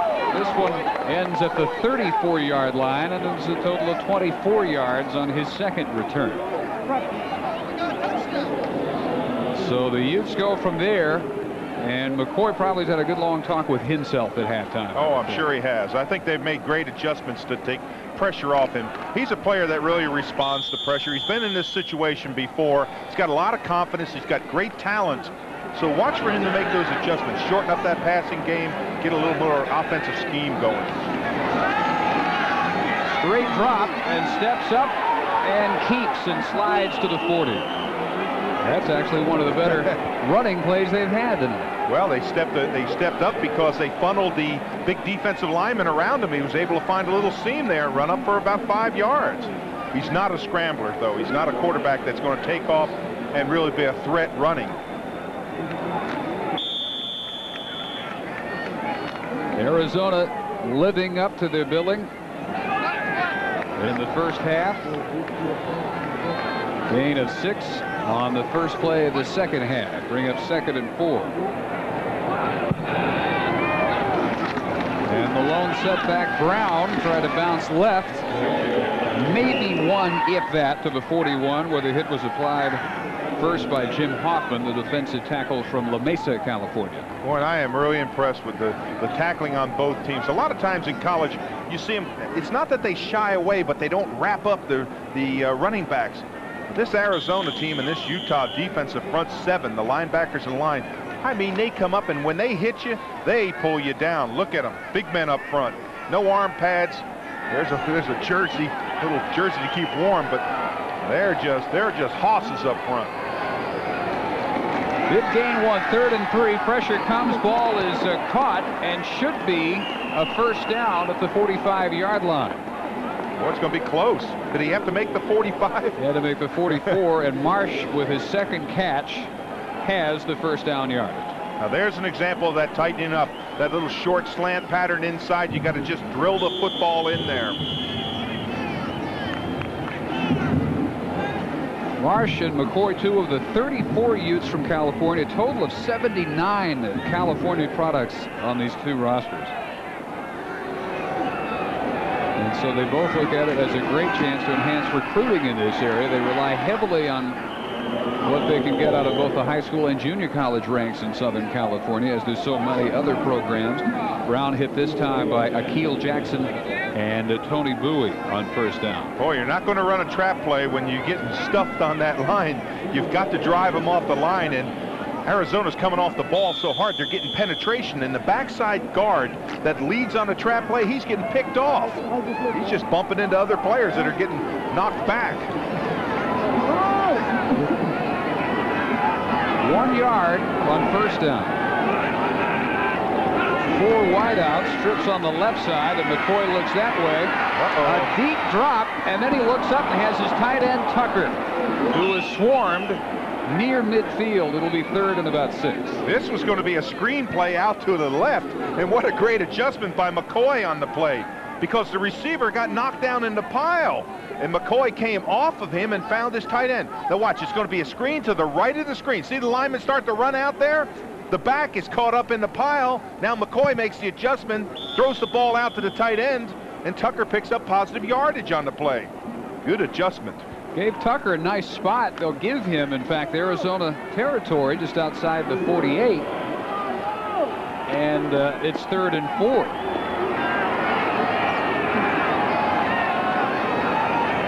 Kevin Dyson goes in motion. For one of the few times McCoy has time, and now dropped by Tedy Bruschi. A coverage sack goes to Bruschi, his second of the game. Well, Bruschi and Osborne are having a fight up there to see how many sacks. But look at the coverage. This is time. 1001, 1002, 1003, 1004. You just can't keep them out that long. And unusual for McCoy to hang on to the ball that long. He had to know Bruschi was in the neighborhood. Well, when you got when you got Bruschi coming down and you've got Hoffman, Osborne, and Jackson, they're flat out coming off the football. Now McCoy may have gotten hurt on that play. He's on the bench. And I think they're trying to, they may be working on his knee. Spencer Ray with a returnable kick, but he is stilled at the 24-yard line. 38-yard kick, and they are working on McCoy. They have uh, basically nothing in the way of any kind of quarterback experience behind McCoy. So very critical what comes out of that conversation. In 18...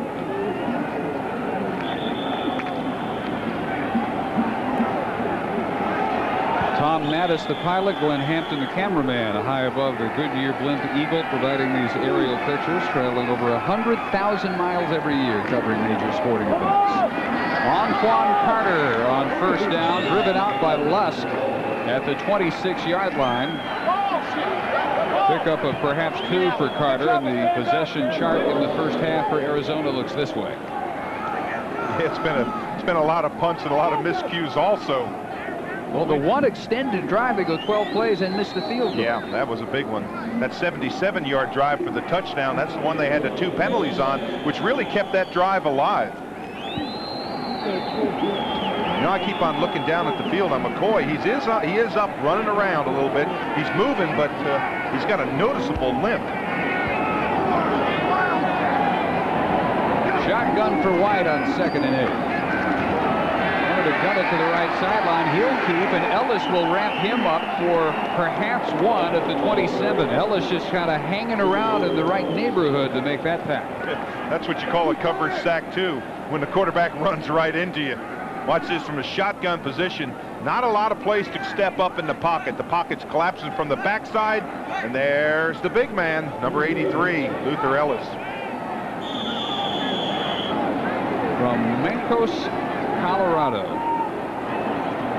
And typical of the guys who have excelled for both these teams because he wasn't highly touted in high school. He's almost an unknown. They spotted him as a diamond in the rough. They polished him to the point where he's a consensus All-American. So both teams have done it. White with all day, then just does get it off. Flag down. Dice makes the catch, and as he comes back, may have the first down if the play stands at the 35. And that flag was thrown way out in the flat, away from the football. Now, Arizona's saying it's against them. It may be holding, defensive holding, because the flag was thrown way over on the far sideline. Yep, defensive holding. Penalties all night against Utah really hurt. Well, I know you see a lot of people that can jump, and we talked about Luther Ellis and, all his statistics. Can you imagine a man 288 pounds jumping 33 inches on a vertical jump? That's that's in Michael Jordan's uh, category. Bench press 550, 4'8", 40-yard dash, 6'6", 288 pounds. He's not a number one draft choice, and uh, there's no justice.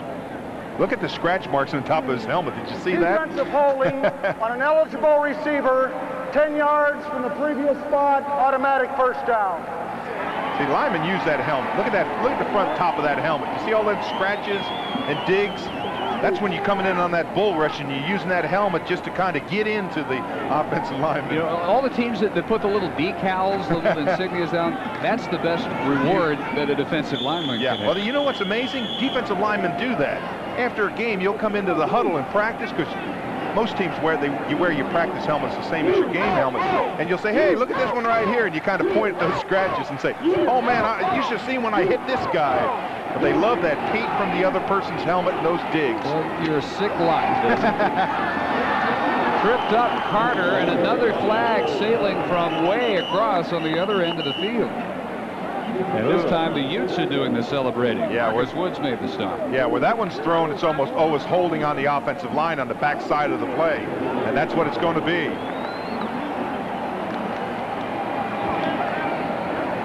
Officials giveth, taketh away, and what was first down on the 37 will march back. Holding on the offense, 10 yards from the spot of the foul.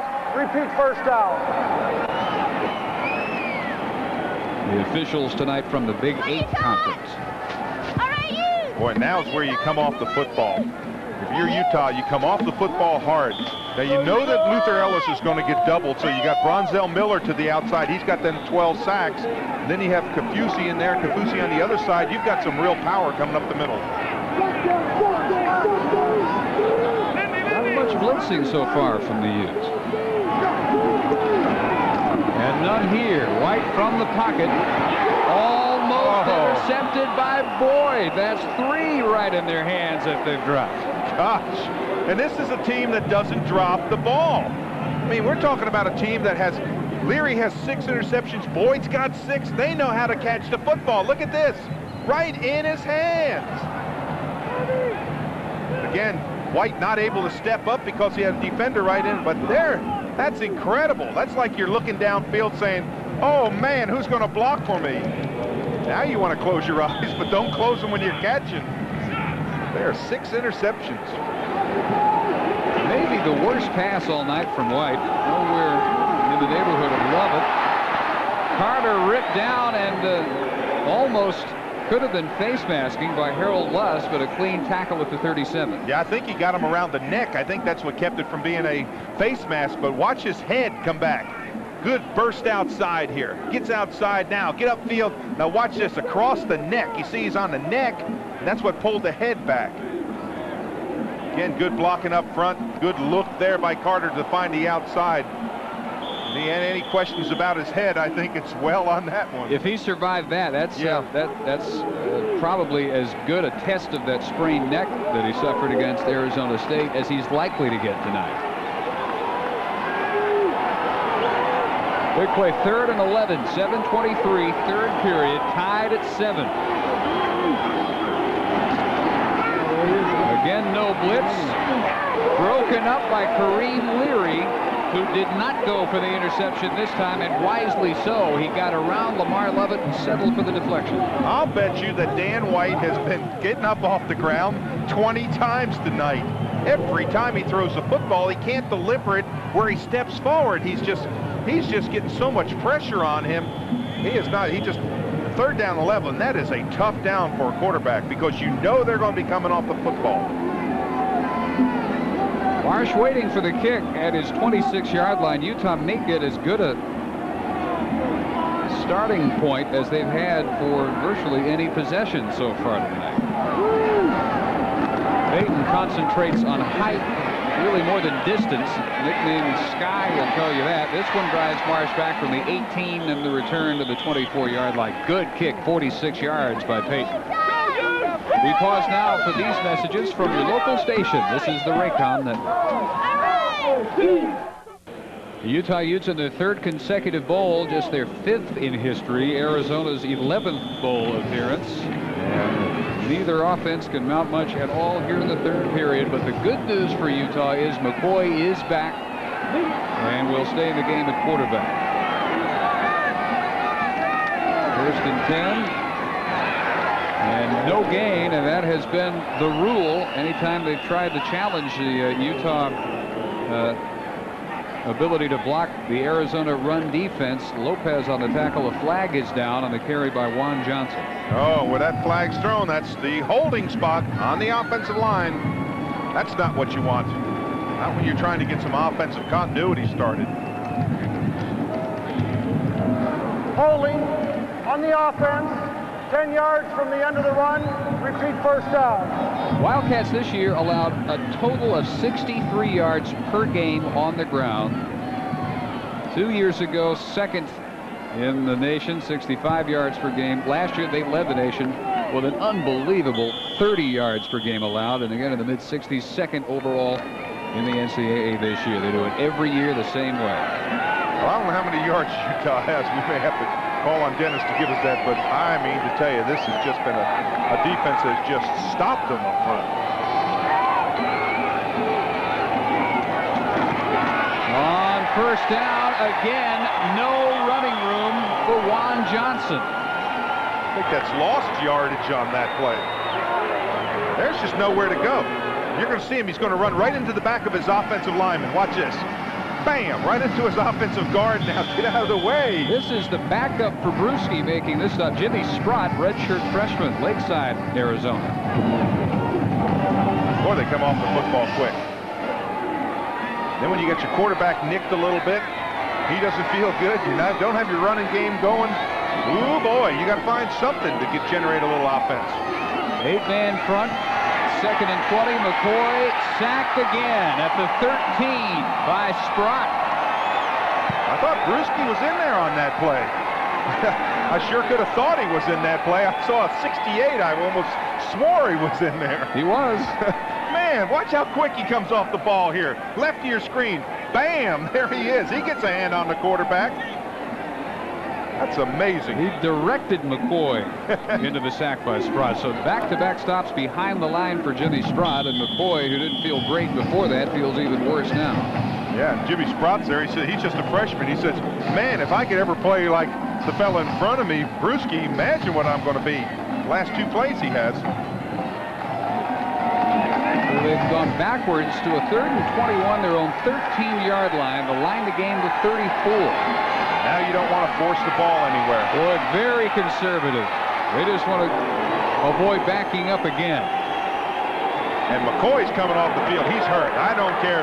They can put him in there, but that young man is hurt. He's way back on about the five-yard line. You see that walk? That's not a quarterback that's walking well.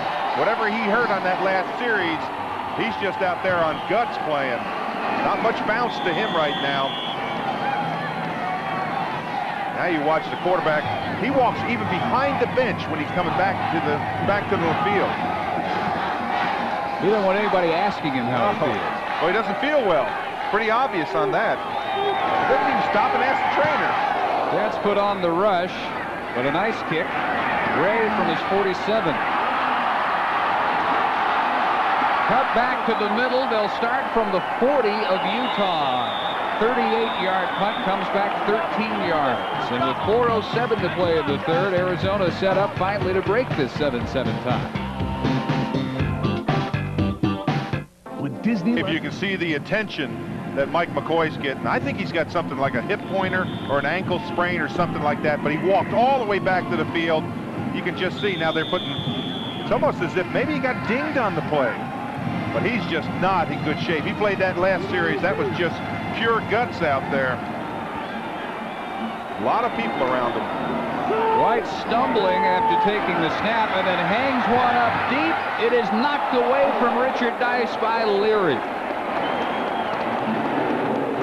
Kareem Leary, who was second in the WAC with 17 pass deflections during the year. And you can't play it any better than that. Keep your cushion now. Turn. You see Leary running step for step. When he looks back, Leary looks back, just tips the football away, doesn't make contact with the receiver. Look at that, just tips the football away. No wonder he's got six interceptions. You play cornerback like that, you're supposed to. Boy, I'll tell you one thing. You're an oasis out there. You're all by yourself. You got nobody behind you. Blitz comes. Great call against the blitz. And Ontiwaun Carter is close for a first down at the 32. One of the better runs all night by Arizona. Another tackle by Leary. And I think Utah was thinking pass. You see him come up on the line there real quick, trying to get that quarterback pressure. Great call there by the by the offensive heads of Arizona. That real quick draw, pops through the line, picks up about eight, nine yards on the play. Third and two from the 32. Duane Akina is the offensive coordinator up in the press box making all the calls. Tomey very rarely will get involved in the play calling. Carter for a loss is stuck by Mark Rexford. This is the way Rexford opened this game. Anybody that headed toward his spot in the middle got sent backwards. Third down and one. This is what you want your linebacker to do. Big lineman take big man on big man, and Rexford steps right up in the middle, smash mouth football, drops him for a loss. That was third down and one. Look at Rexford. He's saying third down and one, now it's fourth down and about three. And McLaughlin, who was way short from 54, will try this one from a little better than 50. We'll call it 50 officially. It's a fake, and he will punt the pooch kick perfectly oh, angled at the seven-yard line. Great call. That was an excellent call. That was going to be a long field goal. And what they do is they just snap the ball back to him. The defense has got to play field goal. They play field goal, and he pooches the ball out inside the 10-yard line.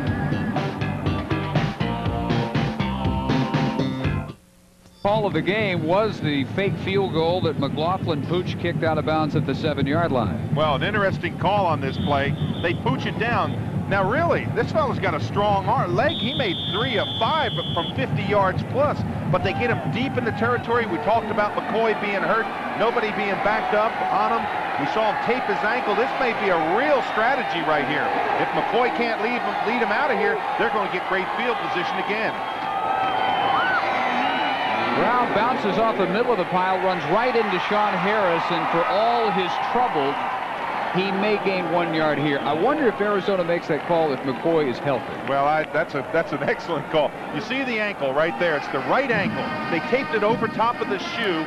Evidently, he has either sprained an arch or else he's twisted his ankle because they taped it right over top of the shoe trying to get some strength. But boy, did he draw a crowd when he went to the sideline on that last series. Because you figure if there's any kicker in America who can make a 50-yarder, it's the Groza Award winner. Exactly. Yeah, he's got three of five over 50. Steps up into another sack by Osborne. Osborne wrapping up McCoy at the nine. Officially, it won't go as a sack, but he has been all over Mike McCoy tonight. Well, look at the number of blue shirts in the backfield there. There's blue shirts all over the place back there. The enduring symbol of the Goodyear Blimp Eagle providing these beautiful aerial pictures above Anaheim Stadium tonight. Boy, big series here. Big down. Third down, about seven yards to go. You don't want to force the ball and make a mistake, but you've got to get a first down. You don't want to give it back to Arizona deep in your own territory. Now the final minute of the third period, McCoy will hang it up for Marsh. Way overthrown. Well covered by Claudius Wright, and they will have to kick from their own end zone. Oh, and look at the limp on McCoy as he comes to the sideline. He tries to run off, you can see. That's not a jog by a quarterback. And you wonder, well, why not at least try the backup? The reason is the backup threw a total of six passes this year, Yeah. Brandon Jones. Yeah, he just has no experience in a situation like this. So coaches decide, say, hey, we're going to try a couple series, see if McCoy can loosen up that ankle. Sometimes when you sprain your ankle, it hurts right away, and pretty soon it kind of calms down and you get back into the flow of the game. You don't want it getting stiff. Wildcats play for the return. Very low kick. And Ray will bring this one back inside the 35 with a flag down. 35-yard punt. He needed much better distance than he got, and the return makes it a net of 25 yards. Well, the flag may be the big play on this series because the flag is thrown back at about the 38-yard line. Two of them, in fact, one from the far sideline, one from midfield. Illegal block, Arizona. That's gonna that's gonna help Utah a little bit, but their main concern right now has got to be their quarterback. Is he going to be able back. to play? On the receiving team, 10 yards from the spot of the fall, first down. Now watch this play right here with McCoy. Watch you see you have to push off that right leg and he's not able to push. You see him step up quickly on that left leg. The right leg is the drive leg. It's what drives you off the football, and he's just not able to deliver. And that ball was that ball was 10 yards overthrown. Well, Arizona ended up losing 15 yards on that exchange of punts. Thanks to the penalty, they back up to the 49 of Utah. 50 seconds to go, third quarter. And they run the reverse for Dice. Didn't fool anybody. Ernest Boyd with a loss back to the 46-yard line of about six yards. And I want to tell you, this is just great coaching. Every player has a responsibility, and there's one that has what you call backside containment. On this play, it's it's Bowie. He's got backside containment. He's got to be, a, excuse me, it's Boyd. He's got that backside containment. He's got to turn that football back in. If he pursues too fast, that play's going to go for 20, 30 yards downfield. That is just excellent coaching. That's about as exotic a play as Arizona may have in their arsenal tonight. Short toss, Carter. They got him out on a flanker, and Carter crosses all the way to the 35 of Utah. First down, pickup of 18 yards. Well, and you remember that who, who made that play? That's a Rocket Ismail play. That quick screen out there to the flat and let those big linemen get out there. That is the end of the third period. We're still tied at seven. We pause for these messages from your local station on the Raycom Network. Now.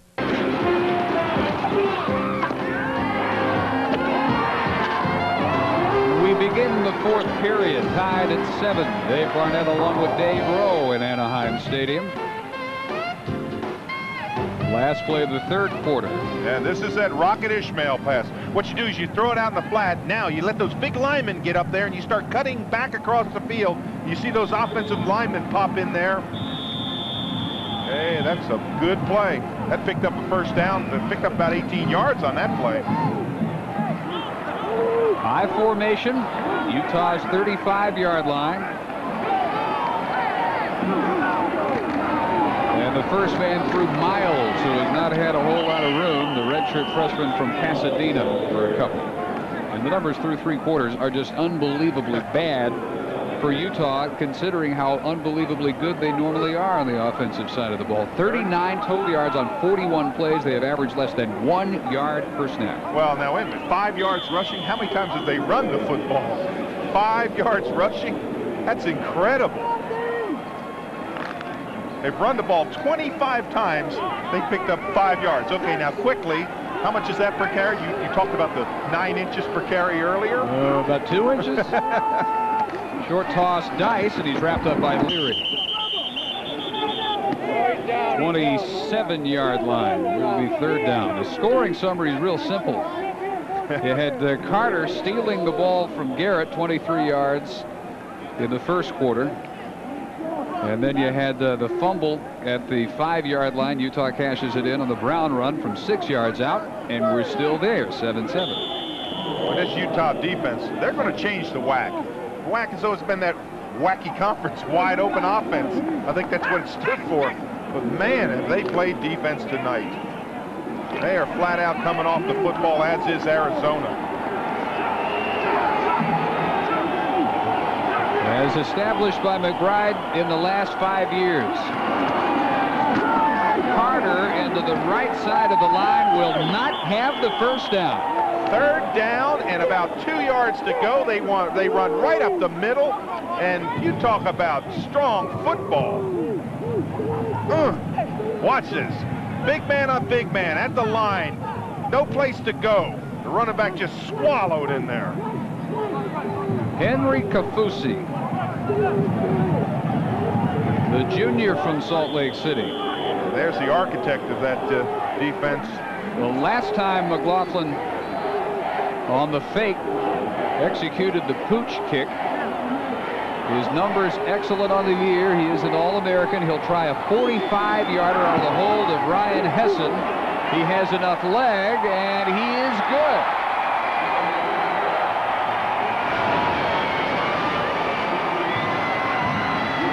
Twelve thirty-nine remaining. Steve McLaughlin breaking the tie. 10-7 Arizona. When young policyholders come to me, I'll look. Seven is uh, a 7-7 tie broken on officially a 44-yard field goal by McLaughlin. 12:39 to play in the fourth quarter. This telecast is a copyrighted presentation of Raycom Incorporated, intended solely for the private use of our audience. Any rebroadcast, retransmission, or other use of this program without the express prior written consent of Raycom Incorporated is prohibited. So 10-7, and the way Utah has been unable to run and the way McCoy has been unable to set up and throw off that injured right ankle, 10-7 looks pretty big right now. It's a, it's a, it's a big lead. Well, they have got to get some offense started here. Clarence Lawson returns from the 14, has. But he turns back to the middle. If he had continued toward the near sideline, that might have produced six. As it is, he settles for 31 yards. Boy, I thought he should have broke to his left. It's easy to say when you're up here looking, but watch when he catches this football. He finds great blocks up front now. Right here now. Get to the outside. Right in there. He fakes him back and comes back into the middle. But I think if he had gotten to the outside, he had a lot of running room. But he gives him good field position. Now the question is, what's McCoy able to do? Can he push off on that foot? The running game is non-existent for Utah tonight. He's got to be able to throw the football.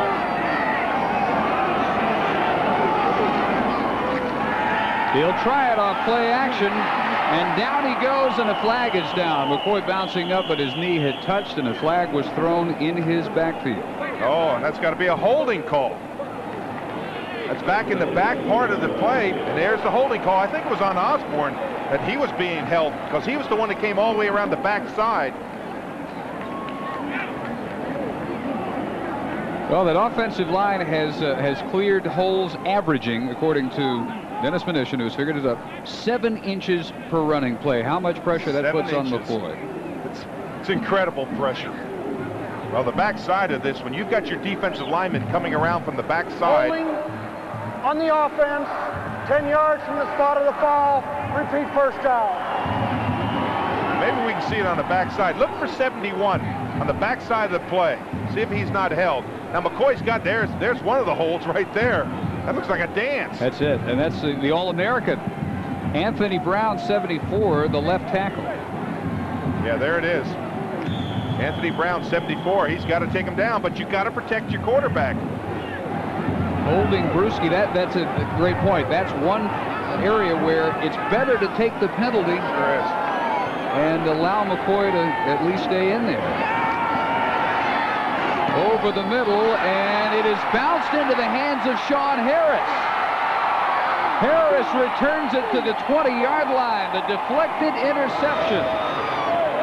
This is incredible. This ball, the receiver goes down for it. As he catches the football, it just bounces up out of his hands, and the defensive back is right there. We've seen some of the craziest plays I've seen in football. Watch this. This is a completion. Right there. That's a completion, right? Look at the ball come up. Boom, he's standing right there. Incredible. It was intended for Jamil Williams, who had only six catches during the season. Well, he's open. There's the catch. Look the way the ball bounces. Almost looked like it might have bounced off his hands, which hit his knee. Mom, I love you. Mom, I love you. Yeah, you deserve to say that. Ontiwaun Carter is swarmed. He'll lose three.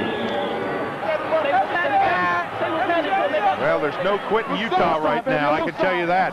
They're flat out still coming off the football. They've played with this intensity, as has Arizona, all night long. When's the last time you saw so many running plays end up in minus yardage? No, absolutely nowhere. Yeah, Arizona's averaged two yards per running. Yeah, play. they're they're averaging 72 inches per running play. Utah's averaging seven inches per running play. You did that without a calculator. Yeah, I know. I, well, that's my higher education. Just an incredible defensive game, but a marvelous football game. See, I love defensive games. I don't like those 48 to 14 games.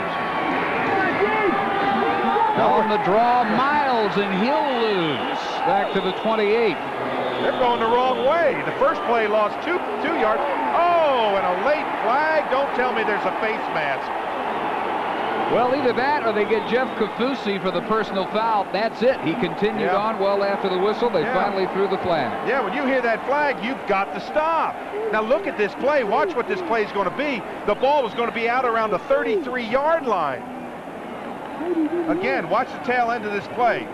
No place to run. Great play by the defense. Now, you let up. The whistle is blown right now. You don't keep on going like this. On the defense. But watch this at the end. The distance. You don't do that. down. That's just foolish. Now that changes that play from being out at the 33, 34 yard line. It gives them a first down at the 14. Oh, is that a killer play? Couldn't be calling the. Could be talking about ball game right there Well, on that call. it's a, it's a huge turnaround. It's just a foolish play. You want that emotion, but you've got to stop when the whistle blows. Look at the turnaround on this play. So first down from the 14 instead of back near the 30. Ontiwaun Carter breaks a couple of hits, has the eight, maybe the seven, finally wrapped up by Boyd. And that was a third down play, too, when he lost that yardage. Boy, is that a huge play. You're, you're talking about 34-yard line.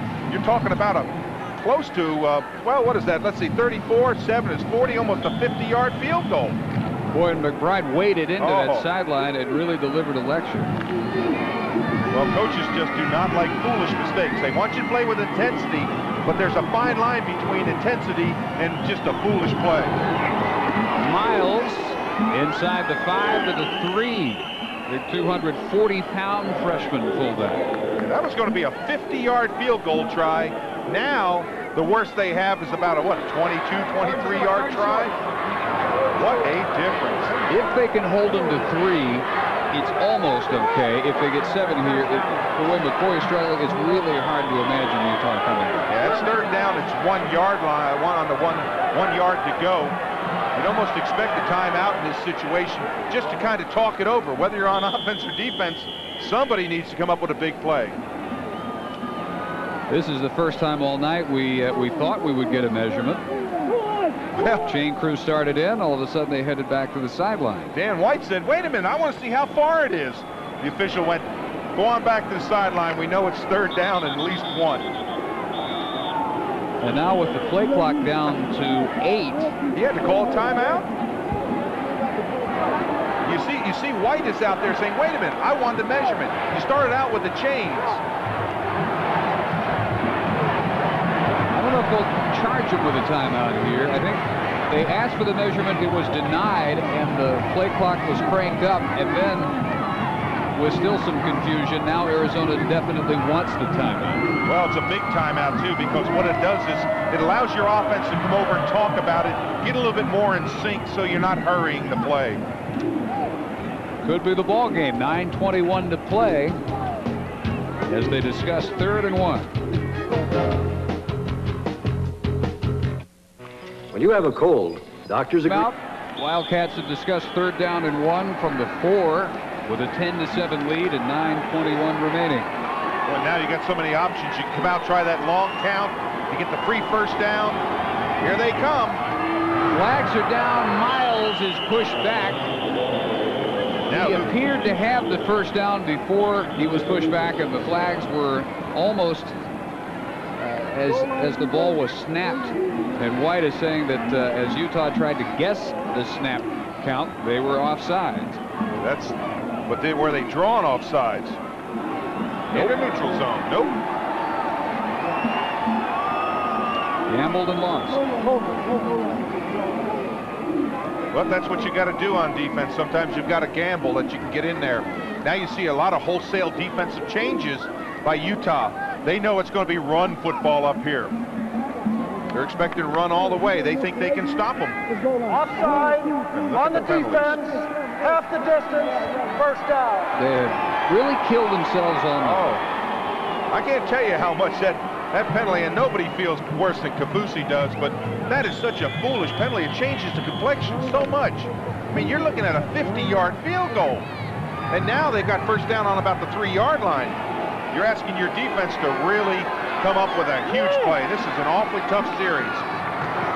Play action wide open and dropped by Tim Thomas. In the middle of the end zone with nobody near him. Oh, me, oh my, have we seen some crazy plays tonight. It's a great call. It's a it's a play action pass into the center. You got the fullback driving over. Watch them all. You see right there's Rexford 55 coming in there.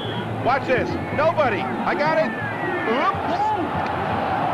Thomas made one catch all year, but it was for the winning touchdown of 34 yards in the 10-7 win at Washington State. That was incredible. Well, why not go back to it again? Give a second chance.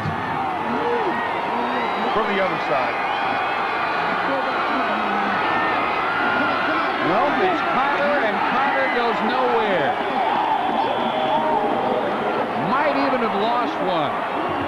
Boy, you talk about defensive tenacity. This is just a tenacious Utah defense. I'm going to tell you something. They're coming off the football. They are playing hard football. You look at the number of the white shirts just flying to the football. Now it's third down and three. They haven't made an inch on these last three plays. Thomas has had his crack at it. He heads to the sideline along with Carter. They pull Ontiwaun Carter on what will be third and goal from the three. And the lone setback is Miles. Well, you almost have to pass the ball, and they go into a shotgun. They're saying, hey, we are going to pass it. Low snap handled by White. To the corner of the end zone, and it's caught and dropped by Lovett. Oh, mercy! He drops it. What is Dick Tomey saying? Wait a minute. What in the world's going on here? That is incredible. Watch how wide open he is. He's out there. There's nobody near him. Look at this. Nobody even close to him. The ball hits him right in the seven. Again, look at this. Right in the middle of the chest. Oh, mercy. Can you begin to understand how frustrating that's going to be, both for White and for Lovett? Maybe more so for White. They will settle for the 20-yard field goal. Flags are down. The kick is good, but we'll see if the play stands. Well, that's offside. Someone tried to guess early.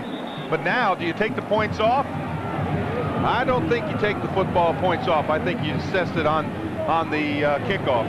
Yeah, there you see right there. No, we want the points. There's no telling what might happen. We better take the points is what he's saying.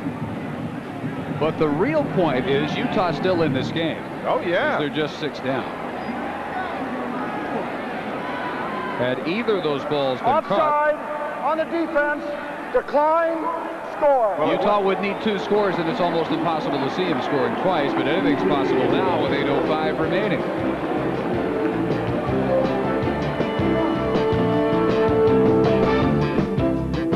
No little cinnamon. Arizona goes up 13 to 7 on an eight-play drive that covers 17 yards. 17 yards, eight plays. Just incredible. Uh, his teammates telling Lamar Lovett to shake it off. I don't know if you can, though. That's two Jackie Smith replays on the same series. Surely is. Surely is. Amazing thing is Utah still in this football game big. They have seen the big returns by the Utes, so the squib kick at the 33-yard line into the hands of Derek Marston. That's where Utah will go. They have time. They have 8.01 to go, all three timeouts. They need one touchdown to do it, thanks to those drops by Arizona. Just incredible. Look at 1994, 37 uh, points per game. Look at the total yards, 400, almost 450. They've got 39. They average 23 first downs a game. They got three. And they got a quarterback that's hurt. But I'll tell you one thing, if he ever wanted to have a spark, he got it from his defense on that last series. The fact that they were able to stop him first down on the three-yard line and hold him to a field goal. Gave him time, got it off to Brown. Charlie Brown is swarmed at the 42. McCoy has a streak of 18 consecutive games with at least one touchdown pass on the line here in his final collegiate game. If he gets one here, it could mean victory. Well, one thing you have to do in a situation like this, if you're a player, and you see him going in there clapping his hands, you want to take away from all the offensive players any thought that you're hurt. You walk in there and you just say, hey, okay, guys, let's put it all together. Let's do it. I'm fine. Okay. So how's your ankle? It's great. Don't worry about it. Let's go back to playing football. Tucker, the motion man, four wides, but on the ground, Brown, and he'll have a first down. I think against maybe any other team, they throw deep on second and one. Here, they just settled for their fourth first down of the game, and they're done with it. Well, that was one of their longer runs. I mean, when you stop and think about it, we had 25 runs. They had five yards off, uh, uh, off those 25 runs. So uh, that gets them a first down. They made about four yards on that run and play. Really big series from McCoy. He's never had a bigger series in his whole collegiate career than this. And so far, so good. Good protection again. Now it breaks down, and he's sacked at the 36-yard line by Bruschi. Bruschi has his third sack of the night. Boy, big play by Bruschi up top. What they're doing is they're doing a twist. One takes outside. You see Bruschi come underneath. It's called a twist between the tackle and the end. The tackle goes out, the end comes up, scrapes off him. It's almost like a pick in basketball. They do it so well up there. Hoffman says 97, Bruschi, Osborne's done it tonight. They have really played well. Boy, does that change it. You almost have to, you almost, when you have, see that, you almost tell the quarterback, just throw the ball, get rid of it. Don't take an eight, nine yard loss. Seven officially, second and 17. And they're coming again. He steps around the pressure, delivers on the run. It's caught by Marsh, who's driven out by Kelly Malveaux at midfield. And you know what's amazing about that play? Did you see McCoy run? He almost ran as if he had no pain. It's almost like he's putting that out of his mind. All of a sudden he's saying, hey, I'm all right. Again, pocket collapses. He steps up in, finds a little seam. Now look at that. He's on the run. Good delivery on the run, too. Even before tonight, though, nobody ever questioned Mike McCoy's toughness. Last season, he was bothered by uh, a circulatory problem in his right arm. It would go numb, it would go dead. He had no strength from time to time. They figured out it was a rib pressing on an artery. They had the rib removed in June. And he's playing one rib short all year, sixth best passer in the country. Third and six. Desperation pass, caught and dropped. Now Utah afflicted by dropsy. Boy, what a play by McCoy to look downfield and see him and deliver that football in there, but Tucker just dropped it right in his hands. Just a little flick there by uh, McCoy to find him. But McCoy under a lot of pressure there. Step up in the pocket, couldn't find it. Last second delivered it, dropped his pass. On for his 10th punt of the night, Jason Jones. Ray standing at the 11-yard line with 5.54 remaining. And Jones, an expert at hanging it up high. Ray lets it drop. Races on. It's down at the one. By Markham Merritt. Perfect punt. 49 yards. Would you see how high that punt was? When it hit the ground, it just bounced straight up. The only thing you don't want to do on this play, now it's over his head, he signals fair catch trying to slow him down. Now, don't carry it into the end zone. Just swat it, knock it back, don't carry it in. But you see what he does? He goes down quickly on his knees, so the ball is down when he's on his knees. Utah's only score came when they had Arizona backed up right here. We'll see what happens when we come back. Busy year for our hosts in the Freedom Bowl, the Orange County Sports Association. They have, among other activities coming up, a great college baseball round-robin tournament. Cal State, Fullerton, Texas, Pepperdine, and Notre Dame. The senior PGA Tour at Mesa Verde Country Club in March. And the NCAA Division I Ice Hockey Championships in 99 will be played just across the street at the Arrowhead Pond. That's how far Arizona is from their own goal line with 5.44 remaining. They're protecting a six-point lead. And you remember what happened on that last series in this position. Audible by White.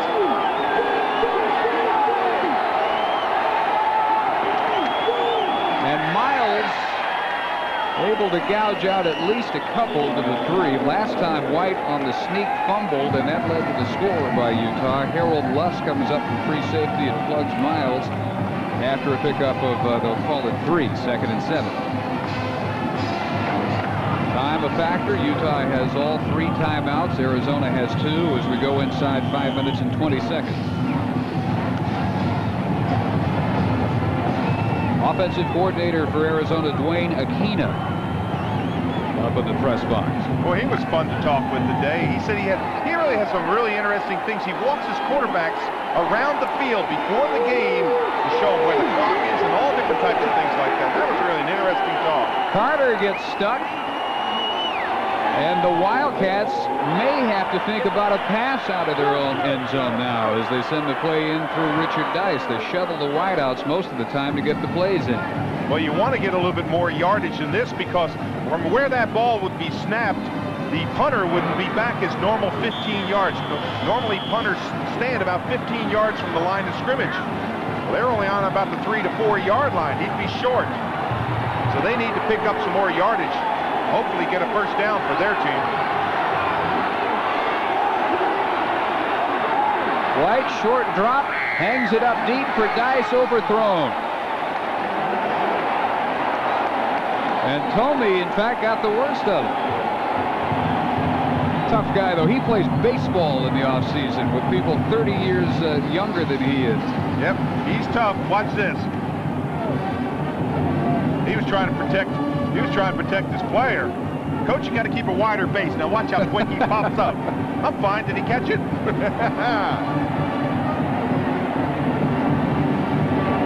so on will come the punting unit. They'll have to kick from about as far back as they can fit Matt Payton in that end zone. Yeah, you start to think now, do you rush the football?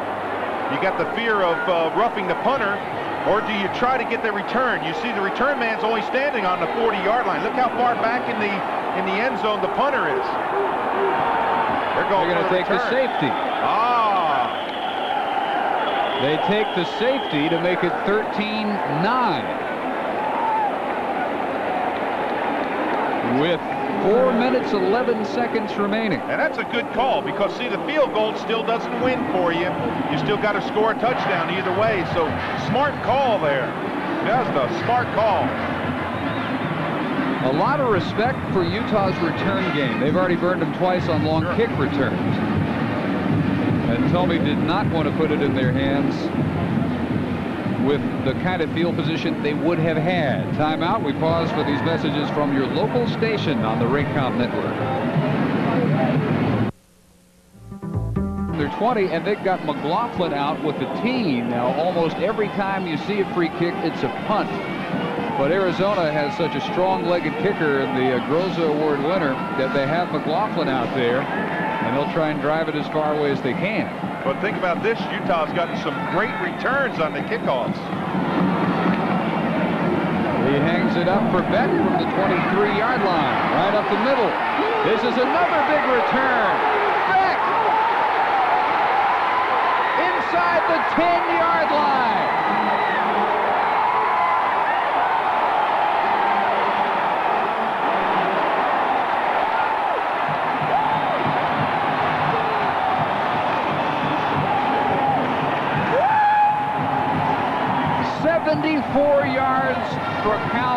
Well, you remember what Arizona did on the last kickoff?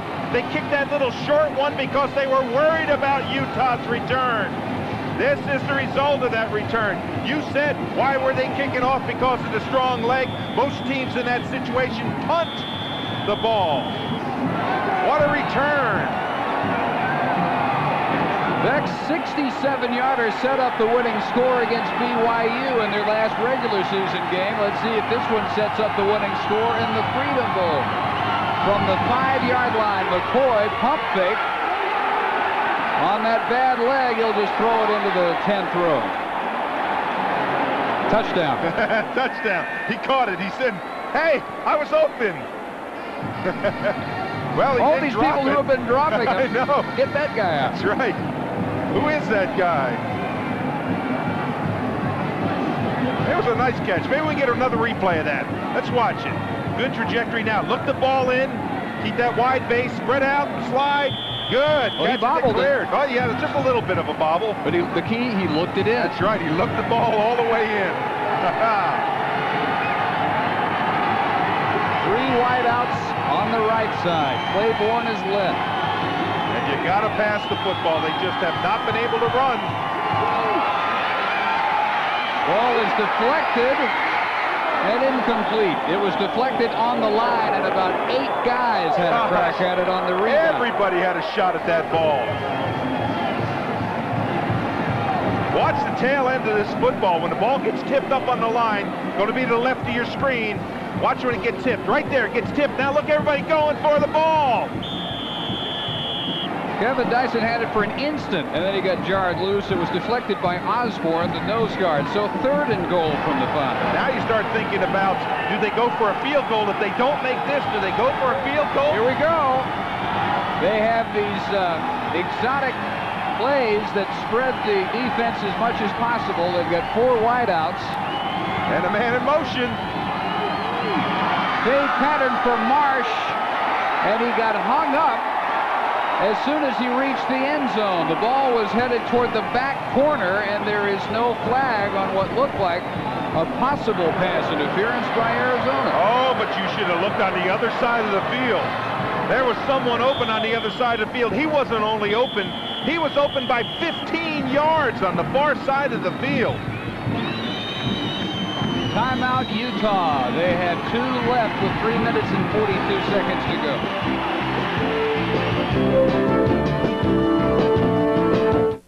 Better way. On Raycom has been brought to you by the Motorola Flip Cellular Phone. The more you need a cellular phone, the more you need Motorola. By Pringles, so fresh once you pop, you can't, you can't, you can't stop. And by MasterCard, it's more than a credit card, it's smart money.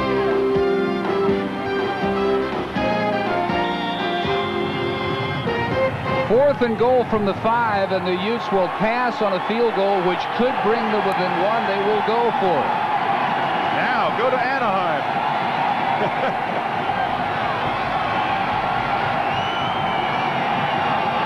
Dyson in motion. He was the man who was wide open on the last play. McCoy looking his way this time.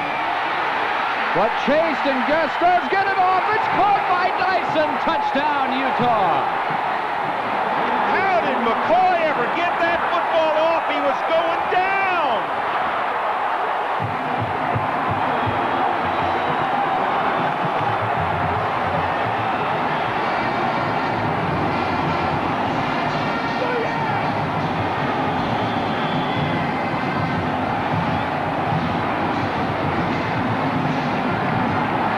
He was going down. He had Chuck Osborne draped all over him, got it off. Dyson, who had been wide open on the last play but never got a look from McCoy, brought it in for the go-ahead score with 3 minutes and 34 seconds remaining. And the extra point to come from Dan Pulsifer, who's a perfect 48 of 48 during the year. This one is good. What a play for Utah. I mean, McCoy, he's got the bad ankle. He's rolling out to the strong side. He's going to go down. He's in the arms. Just an incredible play. Watch this play. Nobody's open right now. Get all the way to the outside. Now watch 71. Run him down. Look at this. He's in his arms. He's going down. He throws the ball up and watch him come in there. There's the one-handed. Watch Dyson come from the right side of your screen. It's almost like he had a baseball glove on. Watch him. This is just desperation. Throw it up. He's not even in the picture. There's Dyson. Look at that. One hand. From the blimp. Here's how it looked. Oh, this is an incredible play. Again, there's the quarterback running out. He's on about the 11, 12 yard line. You see Dyson. Now he just comes out of nowhere to catch the football. And with that, the Utes have their first lead of the night, 16-13 with 3.34 remaining. Now, how big are the two drops in the end zone by Oh. Arizona last time they had the ball? Huge. Absolutely huge. But you see Arizona is still only two points down. This situation, is it 16 or 15? It's 16, so they're three points down. I was going to say, if it was 15, I thought for a second it was 15. If it's been that, wow. All set up by the 74-yard return of the free kick by Cal Beck. Two games in a row, huge kick returns to set up go-ahead score. And the split kick into the hands of Kerry Taylor. Arizona will start 69 yards away with three and a half to go. WAC versus Pac-10. How about that? Six and three this year. And as big a win as any, that Colorado State victory early against Arizona, which had started 4-0 as a preseason national championship pick by Sports Illustrated. They were all the way up to six in the country before that upset loss. Oregon twice defeated, first by Utah, then by Hawaii. They made it all the way to the Rose Bowl. Well, what Dan White needs to do now is not panic. He's a leader out there. He's a junior. Supposed to have that experience. Just go back to your offense. There's that same play. Carter underneath for about nine yards. Yeah, you got a lot of time. You got over three minutes left. You got three timeouts. You got a lot of time to drive downfield. And there's the man who knows it, Duane Akina, offensive coordinator. Boy, we have seen some plays tonight. As weird a sequence of plays as we've ever seen, I think, in the same game. Just incredible. Of course, White stays in that shotgun. There's no fooling him now. All the linemen are in the upstance. Everybody knows it's going to be passed now. Excellent protection. Ball is knocked loose and picked up by Henry Kaufusi. Utah ball at the 31-yard line. I thought that might be Bronzell Miller who swatted that ball out of White's hands. Someone, as they was going by, as White stepped up in the pocket, someone just swatted the ball out of his hands. See if it's maybe it's 99. It's Jeff Kaufusi who made the uh, the penalty that is. led to the last Arizona Oh, mercy. Does that make up for it? The brother combination. Does Jeff- that make up for it? Jeff, whose boner, that uh, that personal foul penalty led to the Arizona score, knocks it onto the turf where his brother Henry makes the recovery. 2.37 remaining, Utah ball with the lead to protect them. Both teams with two timeouts. McCoy with the audible on the line. Give us to Brown. Now what McCoy needs to do is look at that 25-second clock and use that as long as he can. But what a play by Kaufusi. Knocked that ball out of the quarterback's hands as the quarterback was looking downfield trying to step up in the pocket. They're all dumping water on him. Look at basic goat to hero in What a- one series. Oh, what a play. Well, we talked about both these coaches elevating their programs to the next level. This has been everything we thought it would be as far as a football game. Tomey has called his next to last timeout. Two and a half minutes remaining.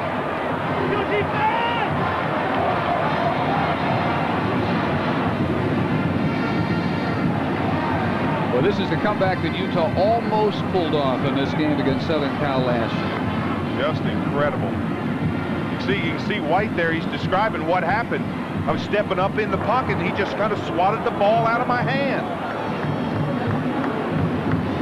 I just, I'll tell you one thing, know, as we've talked many times tonight, you just don't expect defense like this in the WAC. This is a defense, and it just kind of epitomizes Fred Whittingham and his style of play. He was that way as a player. He's a very intense player, and he's got everything out of his football team tonight.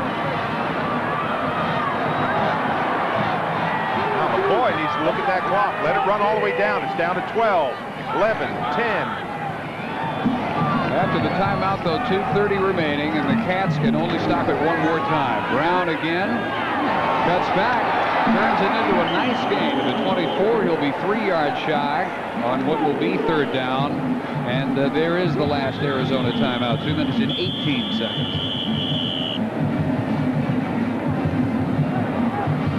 If uh, they make Utah settle for three here, there is still hope for the Wildcats.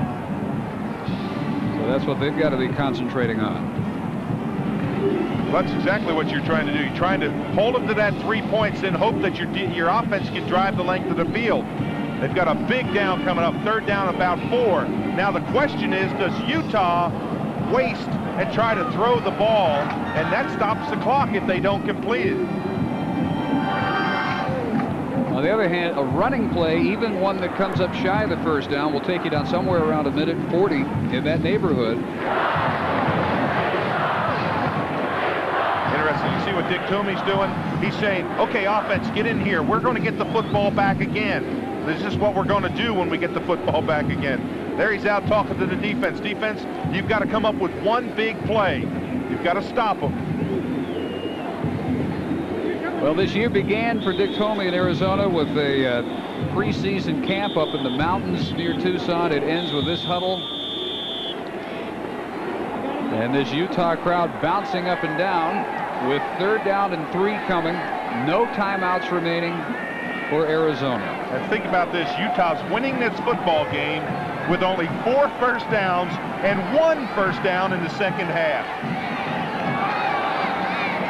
Wouldn't have believed it was possible.